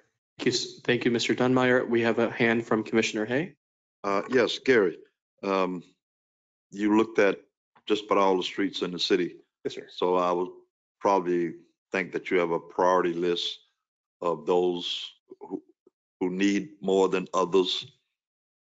Maybe this is something I may want to get with you offline, but I would like to see that list because I have some streets in mind and I want to see where they fall on your list in terms of getting uh, some assistance uh, done in those particular neighborhoods, if that would be okay. Absolutely. And Commissioner, uh, that is an excellent, Well, excellent let's Share it with suggestion. everybody. Yeah, send it, send it to all of us.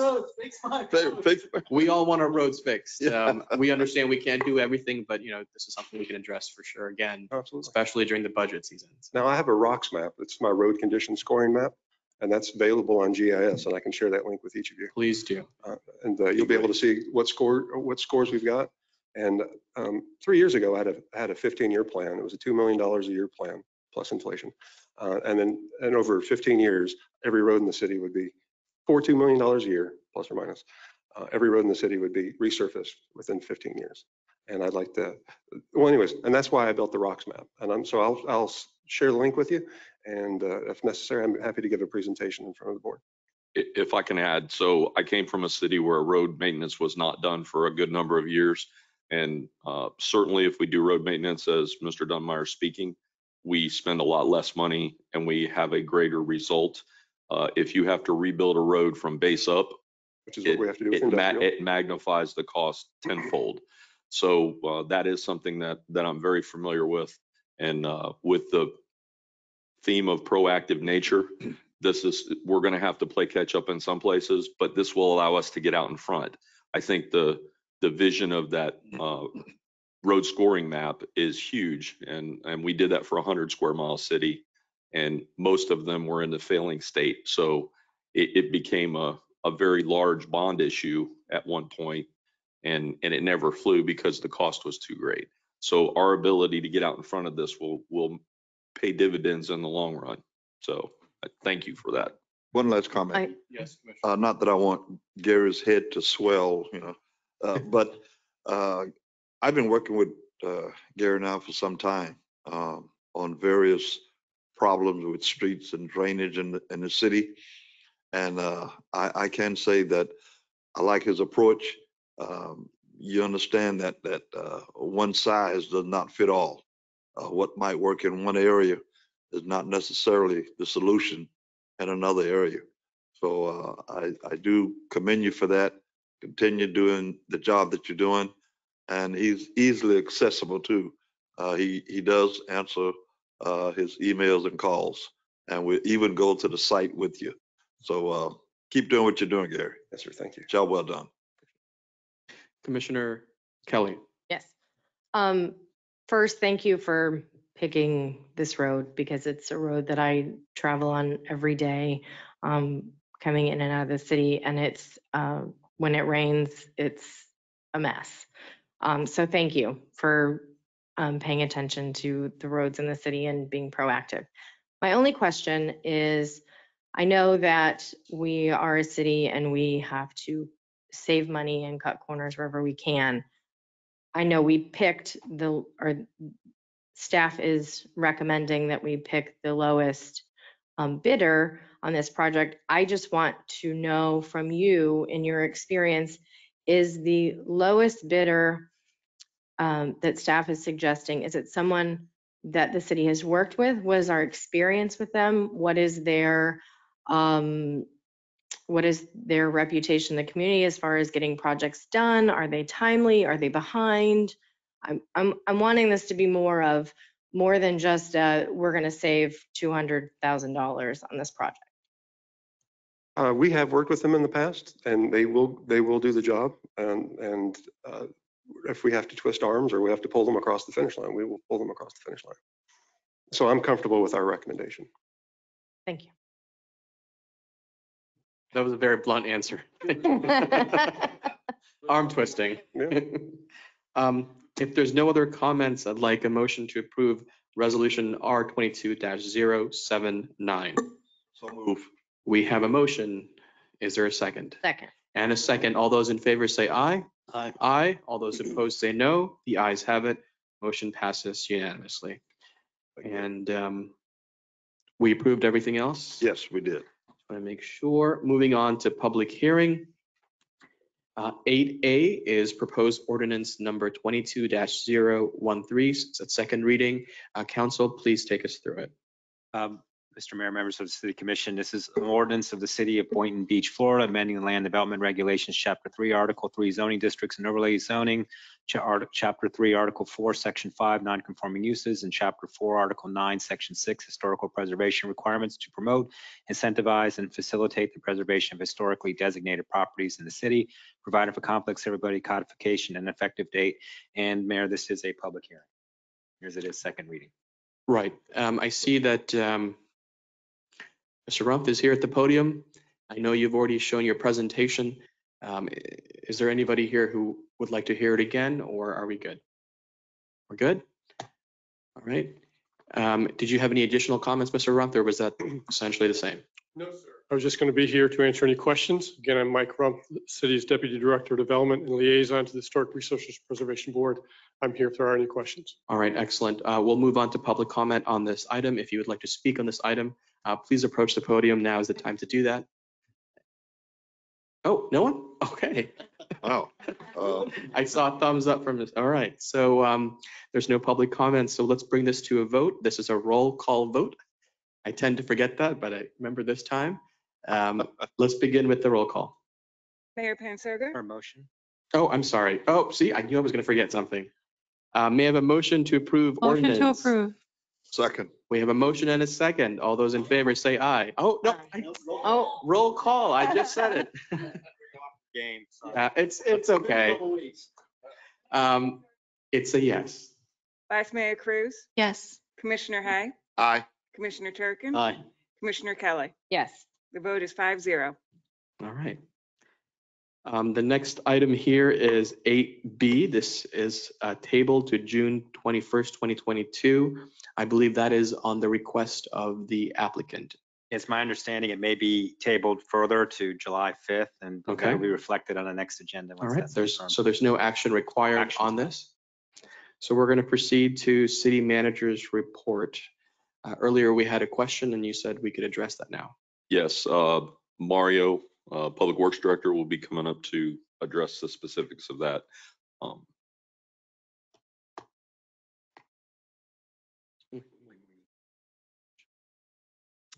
Good evening, Mayor Pasario, Commissioners, my esteemed colleagues and members of the public. My name is Mario Guzman, Public Works Director. Regarding Oyer Park, um, the pier. We put in an application with the Army Corps of Engineers to remove that pier. It is currently unsafe. Once that gets removed, our plans are for next fiscal year, excuse me, do a design. And the year following that would be construction. Regarding the boat docks, the purchase order has been issued. Um, As with most industries, we're experiencing supply issues. So we're expecting, it's tentative. As soon as we get the supply, that'll dictate the construction.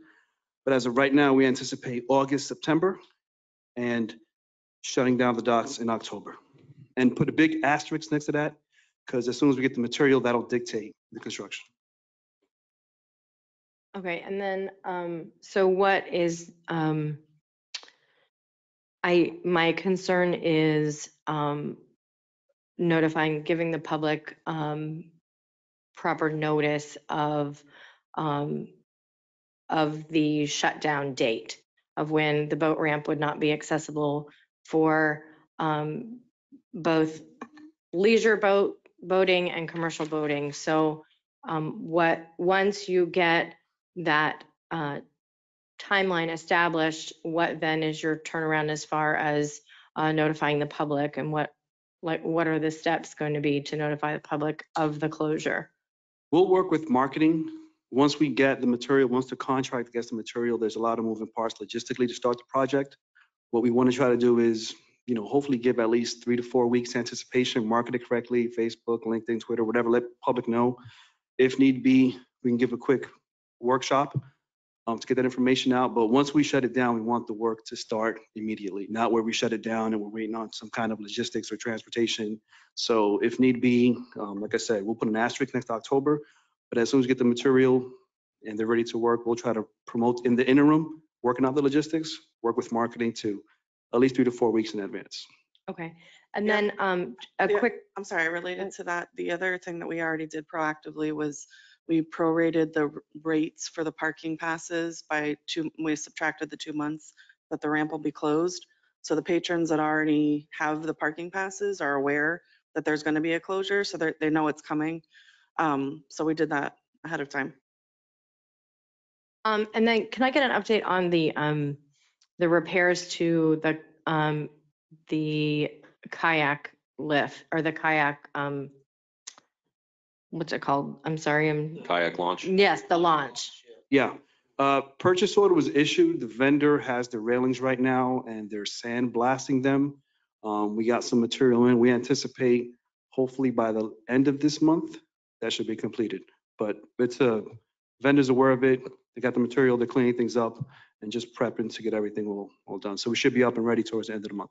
Okay, and then, um, sorry, my focus is on Harvey Oyer Park right now because I was just there, um, recently and it's in a bit of disarray. So, um, and then the playground equipment, I know that it is, I want to say it's new because I think it has been put in in the last probably five or six years, but it's on the ocean and it's deteriorating kind of at what I would think is a rapid pace for five, you know, fairly new equipment.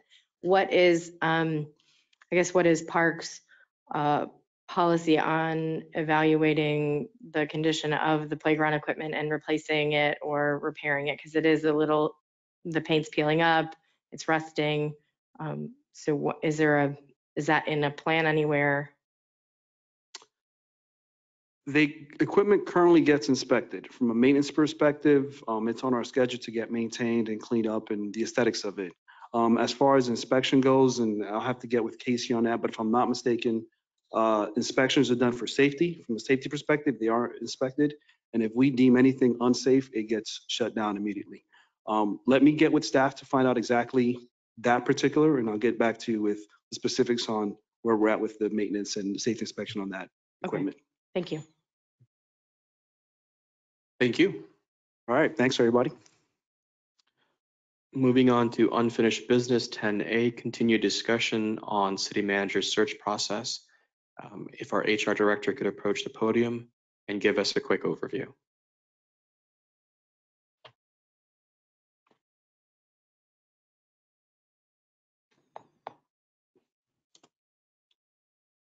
Good evening, Mayor and Commission. Julie Oldbury, Director of Human Resources and Risk Management. Um, I don't know if you've all had an opportunity to review the um, proposed search and timeline that was provided in the backup of the agenda. But I um, just wanted to, you know, let you know that that proposed timeline in search was designed as um, comprehensively as I could imagine a process. I put in um, just multiple steps and you know things of that nature for you to consider. I don't want you to be um, overwhelmed and think that you have to do every one of these exactly the way it's laid out. I really just wanted to put it there for discussion purposes so you could see the um, variety of things that you have to sort of choose from. Um, I would say that items D, E, F, and G, which are assessments, individual commission phone interviews, in-person meetings, and informal background check. Those would all be options that you could select from that you don't have to do. The other pieces are somewhat required for any recruitment. So I can just leave it to you to kind of direct how you'd like to proceed, or if I can answer any questions for you. Thank you. Um, My first question is, I, just to clarify, you need direction tonight to go ahead and put out a posting. Yes, sir. Okay, and did you have any questions for us uh, in order for you to do that, or are you ready to go? I am ready to go with the caveat that the, um, I have consensus from the commission that the existing job description, which I did provide to each of you individually, was acceptable to you and that you did not desire any changes to that. All right, thank you. Uh, As for me, I, I want to make sure we proceed ASAP. Mhm. Let's get that posting out. Uh, I want to thank you for this very comprehensive proposal and giving us some options of what to work with. Uh, This is a little too comprehensive for me. This is a good problem, so I, I appreciate it. It gives us uh, some wiggle room and options, as you mentioned. Um, I think this is something that we can revisit to come up with a complete plan, but you've given us options to work with, and uh, I think maybe next meeting or the meeting after, uh, we can come up with a definitive process. But let's, by all means, get that posting out um, and not waste time advertising. Okay. Um, Let's hear it from my colleagues. Uh, Any commissioners? We have a yes from Commissioner Hay, just a nod and a yes. Uh, Anything else additional from my colleagues? Yeah, yeah, I, I, I agree with Mayor here. Um, I don't, I don't want to conduct phone interviews. That's, you know, that's your role. Um, I think in-person interviews may be important, but let's get the post out there as soon as possible. Okay, we can do that. Would you like me to come back at the next meeting with a um, revised timeline, or do you want to just, um, I don't, what would be your pleasure? We'll, we'll continue to discuss it. Okay, Yeah, great, but by all means, go ahead and release the notice. wonderful. Thank you so much. Okay, thank you very much. All right. And I'm sorry, uh, Commissioner Kelley. No, you're fine. My only um, feedback would be that, yes, of course, um, I feel like at, at this point, at every commission meeting, you should be prepared to come and give us an update as far as um, how many applicants have, you know, what, what you're getting, um, what feedback we're getting. Because one of the things that we had spoken about was if this was not um, effective, um, an effective road to go down is that we would revisit um, the other road um, with uh, hiring a company to assist us with this. So I would like to um, have you at every meeting to present to us what um, what the current position is, where we are, um, and and what we've received in the feedback um, or lack thereof, so that we can um, we can make decisions. Commissioner Kelley, I think you make a great point. And along those same lines, um, perhaps we should modify that to say, come back to us perhaps after 30 days of having posted it. Um, Because I don't want you to come back next meeting and it's only been like a week or two. It's not enough time. So at least 30 days of, of officially being out there, then start coming back to us. Is that all right with you, Commissioner? Yes. All right. Consensus from the board? Aye. All Yes. right, all right, we're on the same page. Thank you so much. Wonderful, thank you very much. Thank you. Um, Moving on to new business, I had requested that we just have a quick discussion on how many of us would like to attend uh, the National League of Cities Conference. Uh, It is November 17th through 19th in Kansas City, Missouri.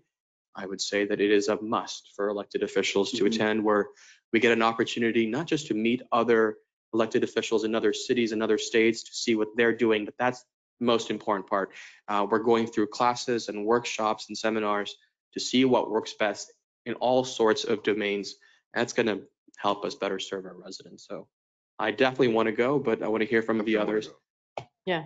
Yeah, I, I, I I Aye. already confirmed. I Aye. thought, I thought Ken- Kendra sent out an Um, email to us. Did we? Perhaps. But the point is, you want to go and, Yeah, I'm, uh, I'm and going. Commissioner Kelley? That sounds like all of us. You got, all right. I do have one minor request related to this. Um, The day before that conference starts are executive education classes. Uh, If it's all right with my colleagues, I'd like to attend one of them. The class is called Retail in Your City, Build a Plan for Success. It's focused on how to attract and retain businesses with a focus on retail recruitment and development. Um, That is something I would like to attend. It's just the day before, if that's okay. Yeah, and, and it, it's something that is part of this conference. I'm assuming the 16th is check-in day and this is, or is seven, or is that on the 17th? This is uh, the day before the 16th. So if we schedule the flights, uh, because this class doesn't happen until the afternoon, so if I arrived in the morning, uh, then I can take it right in the afternoon and we just proceed. This is fairly standard um, of the other national conferences I went to. They have classes preceding the actual conference. And I wasn't sure if anybody else wanted to do that, but I, I know I definitely wanted. that- I would No, like to just need some- consider it. If possible, I'd like to consider, look at my calendar and see if that's something that I can make work as well. Sounds good. So you're interested as well. Um, City Manager, I see you want to chime in. Yeah, the, the only thing I'll ask is whatever you're wanting to attend, just if you don't mind, uh, passing that information on to Kendra and Candace. They will take care of the travel training stuff because it has to come back here as well at an, uh, at a official meeting. Right. So that way we do this the right way and, and that way your pre-conference registrations are taken care of. Your conference registrations, your travel, if you have any special travel needs, we need to talk about that as well. So uh, like arriving the day before the conference because you're going to a pre-conference event. So if you don't mind, just individually check in with Candace or, or Kendra. And that way they'll be the clearinghouse. I've already prepared them for that conversation. Excellent. And I just want to also add for, for my colleagues and for the public, the reason I, I walked this on today is uh, there's early bird rates, so we're saving money by knocking it out now instead of waiting later. Um, And I'm excited that we're all going. Uh, Thank you. Moving on to legal, uh, the first item here is proposed ordinance number R, excuse me, number 22-014. It's a first reading. Council? Um, Did Um, we, po- did we, did you not ask that it'll be postponed? So. Nope, wrong item. This is 12A, and I think you were referring to 12. Zero fourteen Bs. and, So 12, this is 12A right now. This is 12A. okay, I'm going to chime in on 12B. I got you.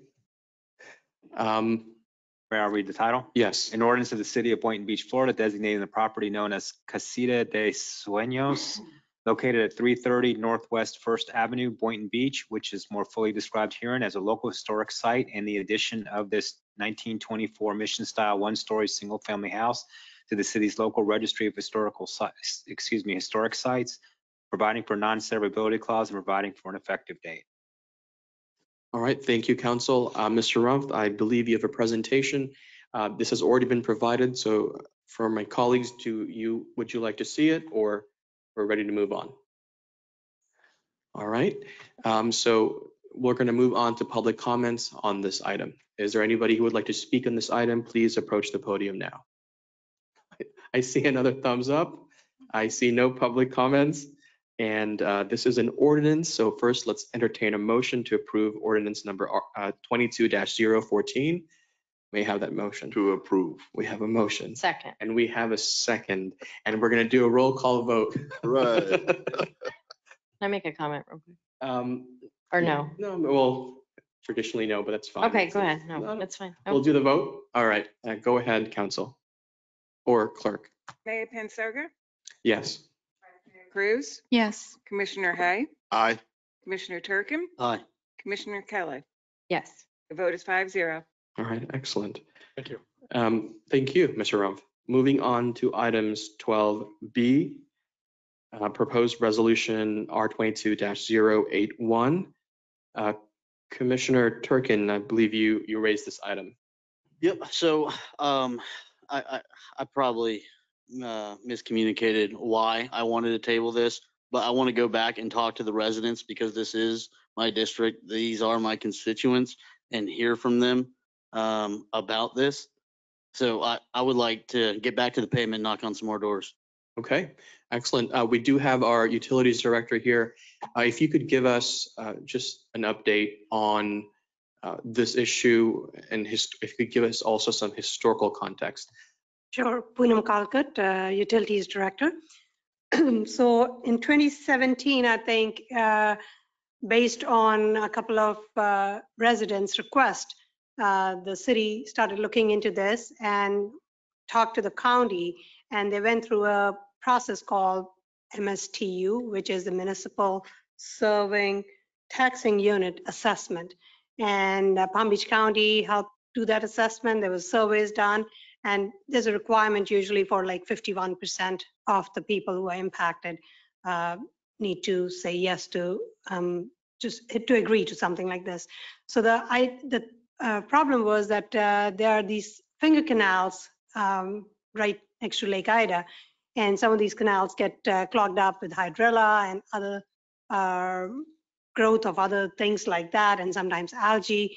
And so the request was that some somehow maintenance needs to be done on these. And so the request had been that the county do it, um, where the Fish and Wildlife uh, Services should do it. And it's these are private canals. These are not uh, necessarily any municipality or county canals. So based on that, uh, we went through this MSTU. And but after it was done, the assessment county said that they don't do MSTUs for uh, maintenance activities. It's only for capital projects and other projects like that. So at that point, uh, city took it over that we could do it as a special district uh, assessment and uh, do a methodology to check what maintenance needs to be done and what's the cost of that. And based on uh, the 51%, over 51% of the residents for both of those canals, uh, the agree we started working on getting this assessment. And so this last year, we ended up uh, doing the um, mm, the cost was passed through the city. From next year onwards, we are saying make it into a non-ad valorem taxes through the uh, tax collector. So that's what this first reading is. And Michael might want to add some more. And Mr. Mayor, if- if I can also elaborate. So last year, the city uh, did this special assessment for the first year. Um, And what they did um, is they, uh, the city is the one that actually sent out the invoices, then collected the funds. This year, what these two agreements do is facilitate the use of the tax bill so that the the property, the roll can be given to the property appraiser and the notice of the amount can be put on the trim notice and it'd be collected with the property taxes in November. That's what these two agreements do. These two agreements do not levy the special assessment.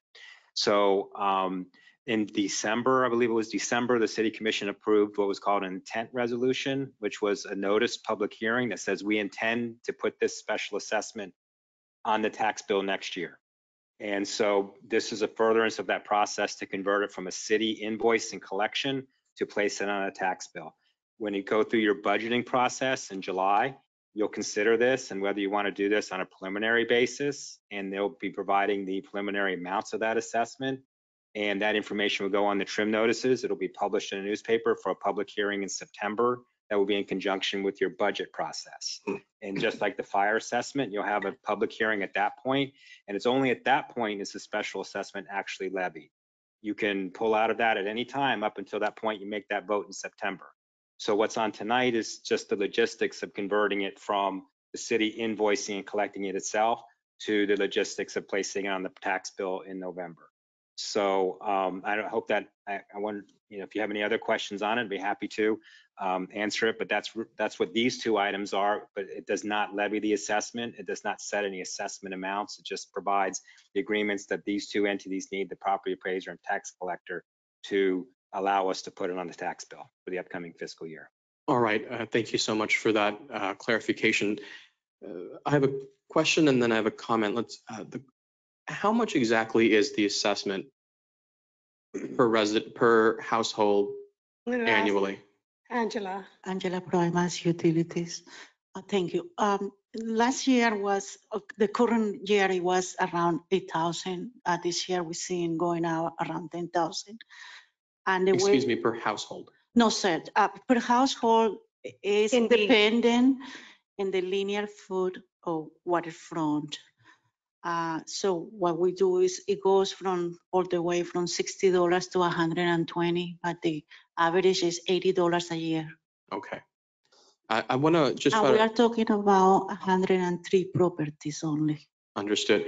Let me try to just recap what was said. I want to make sure I understood it and I'll try to say it more plainly. Uh, so we have these two sets of canals uh, that are finger canals. We have all sorts of growth in them and, and that needs to be cleaned up one way or another. Originally, the county says, hey, we'll take care of this. Uh, and then they put out a vote. They, there was some sort of voting process to do that. After that occurred, the county then said, we don't want to do it. Uh, so that right there has now misled the residents, right? Because they thought the county was going to do it, but then the county backed out. So then it became the city's responsibility, and the way to do that was this assessment. Um, the item for this evening is not to collect it, but to transfer that responsibility to the property appraiser and the tax collector. Correct. All right, so, you know, Commissioner Turkin, I'm going to support you, uh, how you lead on this. If you want to spend more time speaking with residents, um, absolutely more power to you. Um, I don't like how this has rolled out. It, it is misleading to the public, but that's out of our control. That's the past. That's the county. It is what it is. Uh, but one way or another, this has got to get cleaned up. Um, so if the county's not going to do it, then the city has to do it. And um, so for that reason, fortunately, you know, we're talking about, you said $80 on average per year. It's from 60 to 120, and we have had properties that are very big, but in average, everybody pays less than $100 currently. Uh, It's going to increase, Mayor, because uh, we're going to have to charge the fee that a property appraiser is charging to set up the system. So it's going to increase probably, like I said, we're, right now it's around $8,000. It will go a little bit over 10,000 total.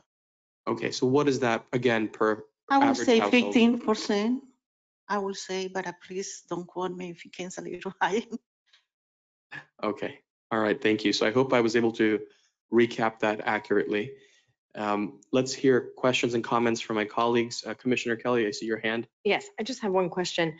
Is the reason that we're doing this, or we're looking at doing this and transferring it from um, a city collectible um, item to putting it on the tax roll, did the city have trouble or issues collecting? And so now we're trying to put it where it is more um, of a guaranteed collection? Is that why we're going this route? Or is it, is it for, I mean, is that I guess that, is that the purpose? Did the city have trouble collecting from these properties and collecting this assessment? And so this is our way of uh, forcing collection on this assessment.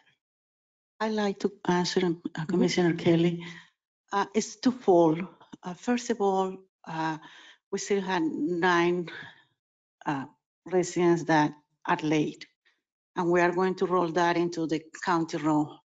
And the second, uh, the fire assessment is collected every year through that way, and it has proved to be very efficient.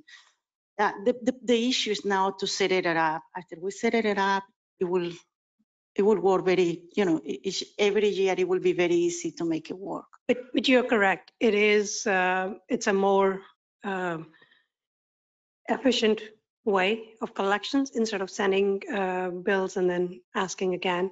So, and because of the fire assessment, how it's already done, the city has a mechanism of following the same process. And then um, just one kind of follow-up question of that, because uh, this is all kind of new to this um, commission, or most of this commission, but um, this, um, how, what's the long term, like what's the term of this assessment? How many um, years are we talking about? What is the ultimate, I guess, assessment per house for this project? Um, we can- Ish. I mean, I know it's not. we can go back and look at that, how the assessment was done. Um, Keep in mind, uh, if the city has to take over these canals, there's got to be, um, you've got to find the budget uh, money to do some of this. And when they're private canals, um, it becomes very hard for the city to come up with any means to take care of those. Sure, no, I, no, and I understand that, and I understand the need um, sometimes to have these special assessments, but how many years are we collect, are we proposing that we're going to collect uh, these funds from these residents? This is going to be a maintenance issue. So if it's a maintenance issue for, for whenever, till whatever time the canals are there, then it's going to be like that. That's how I see it. It's not a capital project that you're going to say that, okay, we just got to recoup the amount of money. It's a ongoing maintenance. It's as an annual assessment, it's gonna, if, if it's presented to you, then it's up, it's gonna be voted on each year up or down. So is that your way of saying permanent? Well, I- if I, I don't know if it's permanent, I'm just pointing out that i- i- it's as an annual thing, it has to come to the commission every year. Dependent on the elected body. but if I, if I say, uh, the residents were doing it themselves and they found very difficult to collect from every resident. So we had several residents approaching city management and requesting that we take over, that we assist, and we are doing it uh, as a part of services to the residents. So, you know, this discussion is about funding the, the maintenance, the cleaning up of these finger canals. The private canal. The private, yes, but do we understand the cause of this problem? Because yes, we need to take care of it, but let's, we may not have to do it forever if we solve the underlying reason for why we have this problem in the first place. Is it because the water is stagnant? I don't, I don't know. So have, we looked That- into the underlying cause? Because these are private canals, it's hard for us to do all the assessment. I, I'm new, so I'm going to go back and look at that a little bit more.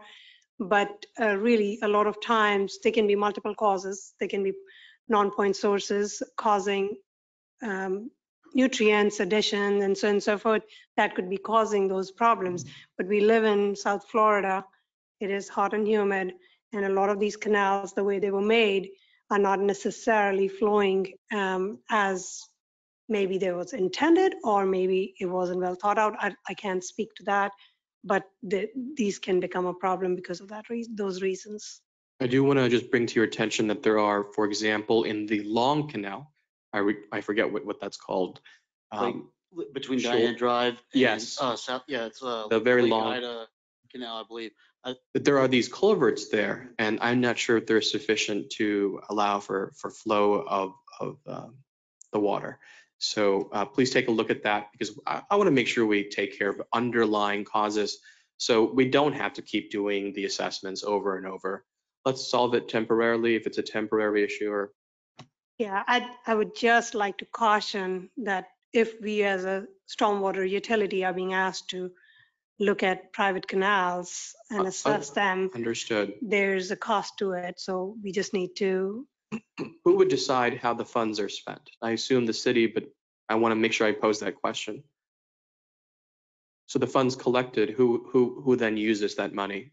Because we collect stormwater fee and we, we can do a rate studies for stormwater assessment, but that, these canals are not part of that stormwater. um, Understood, but I'm conveyance. referring to the assessment, these, you know, the collected dollars from the assessment. U- Usually it would be the homeowners or homeowners associations or any kind of management uh, of that area that would be doing these things, that w- they would be taking care of the maintenance. But because there is no HOA in that area, it's been something that uh, residents haven't been able to collectively Okay. get a vote to get something done, and that's why they've approached the city. So I, the point that I'm making here is whoever is the jurisdictional authority on that, that that money spent not only in solving the temporary issue of overgrowth and, and whatnot, but some of those funds, um, in whatever duration of time is required, is used to solve the under, underlying problem. But that's the point that I'm making, but, uh, but thank you. Um, Any other questions or that- comments? is Commissioner that- Hay? Is that the reason why the county backed out because it's privately owned? Or do you know? Uh, At least based on some of the um, emails I've read, it's because it's a maintenance uh, issue and they usually don't do maintenance uh, uh, issues. They usually do capital and others. That's, that's my understanding. So the mayor brought up a good point, that culvert. I think that culvert would, is that is, if we look into that culvert, that's not a maintenance issue. That would be a CapEx, correct? Yes. So I, what I'm getting at is, I think we need to look at what's going on. Uh, You mentioned a study, if we can do that. Um, And I'd, I'd like to uh, get you in contact with Mr. Fishman, who's worked very hard, who is a resident of Diane Drive, and he's worked very hard to clear out those weeds. Um, So I'd, I'd like to get you in contact with him, and he can kind of tell you a little bit more. He's lived there years and years and years, so he's, he- he's seen the progression of what's going on with that canal. Um, But again, to my colleagues, I would like to get some more feedback about this issue. All right, any other questions or comments from uh, the commission? Otherwise, I'd like to move this on to public comments on this item. Counsel, you had a comment? Just real quick, um, we'll bring this back at the, at the next meeting. Um, and, we can find out in the meantime whether these two entities will have some sort of deadline um, before you engage in your July discussions on how to collect it.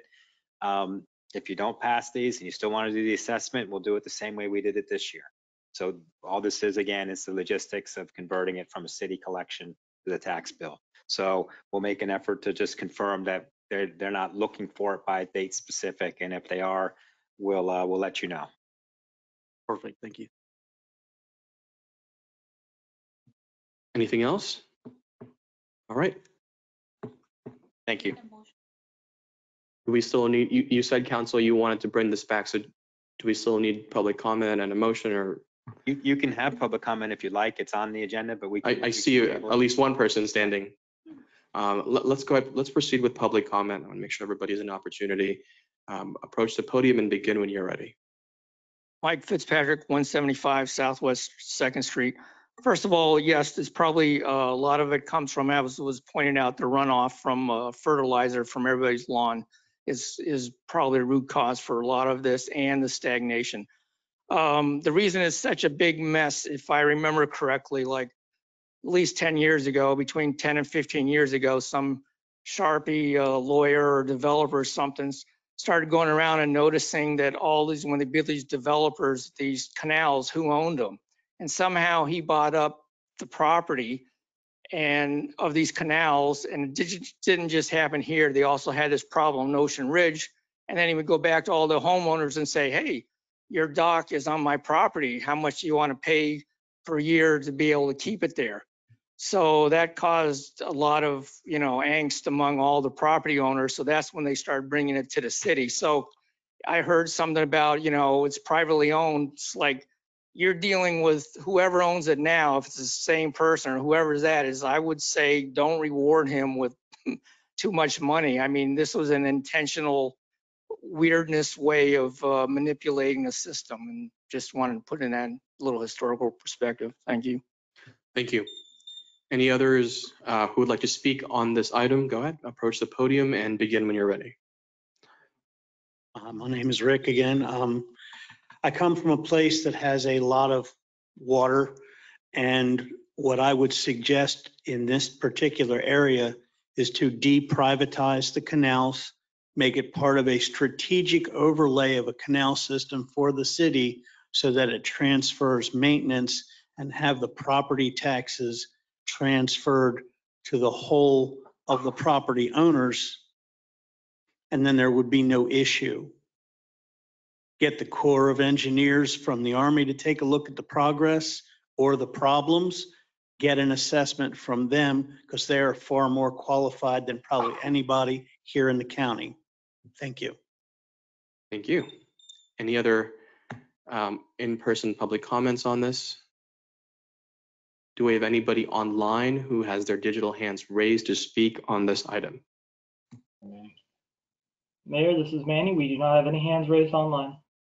All right, thank you, Manny. I heard that there were no hands raised. Um, So if, you know, the consensus here is to table this, let's entertain a motion to table this item. Motion to table. We have a motion and a second. Both items, B and C, if they're together, Could we lump them together? Fine, for, All a- right, for a thank table. you. Yes. To be clear, the motion is to table items 12B and C. Do we need two separate motions for that? No, she's saying, he's saying we can just both lump them together. They're, they're, ba- they're related. All right, so we have a motion and do we have a second? Second. We have a second. All those in favor say aye. Aye. Aye. All those opposed say no. The ayes have it. The motion passes unanimously. 12B and C have been tabled. Are there any other final comments or questions from the commission? Seeing none, I'll entertain a motion to adjourn Motion this to meeting. adjourn. Oh, hold on a second. That's all right. So fast. Um, I would like staff to reach out to this gentleman about the trail bikes. Mm. Um, and then get some more information about the baseball diamond too. Yep. Okay, let's, let's continue with that motion to adjourn. Motion to adjourn. And, a s- and a second. All those in favor say aye. Aye. All those opposed say no. The ayes have it. Have a great evening, everybody. This meeting is adjourned.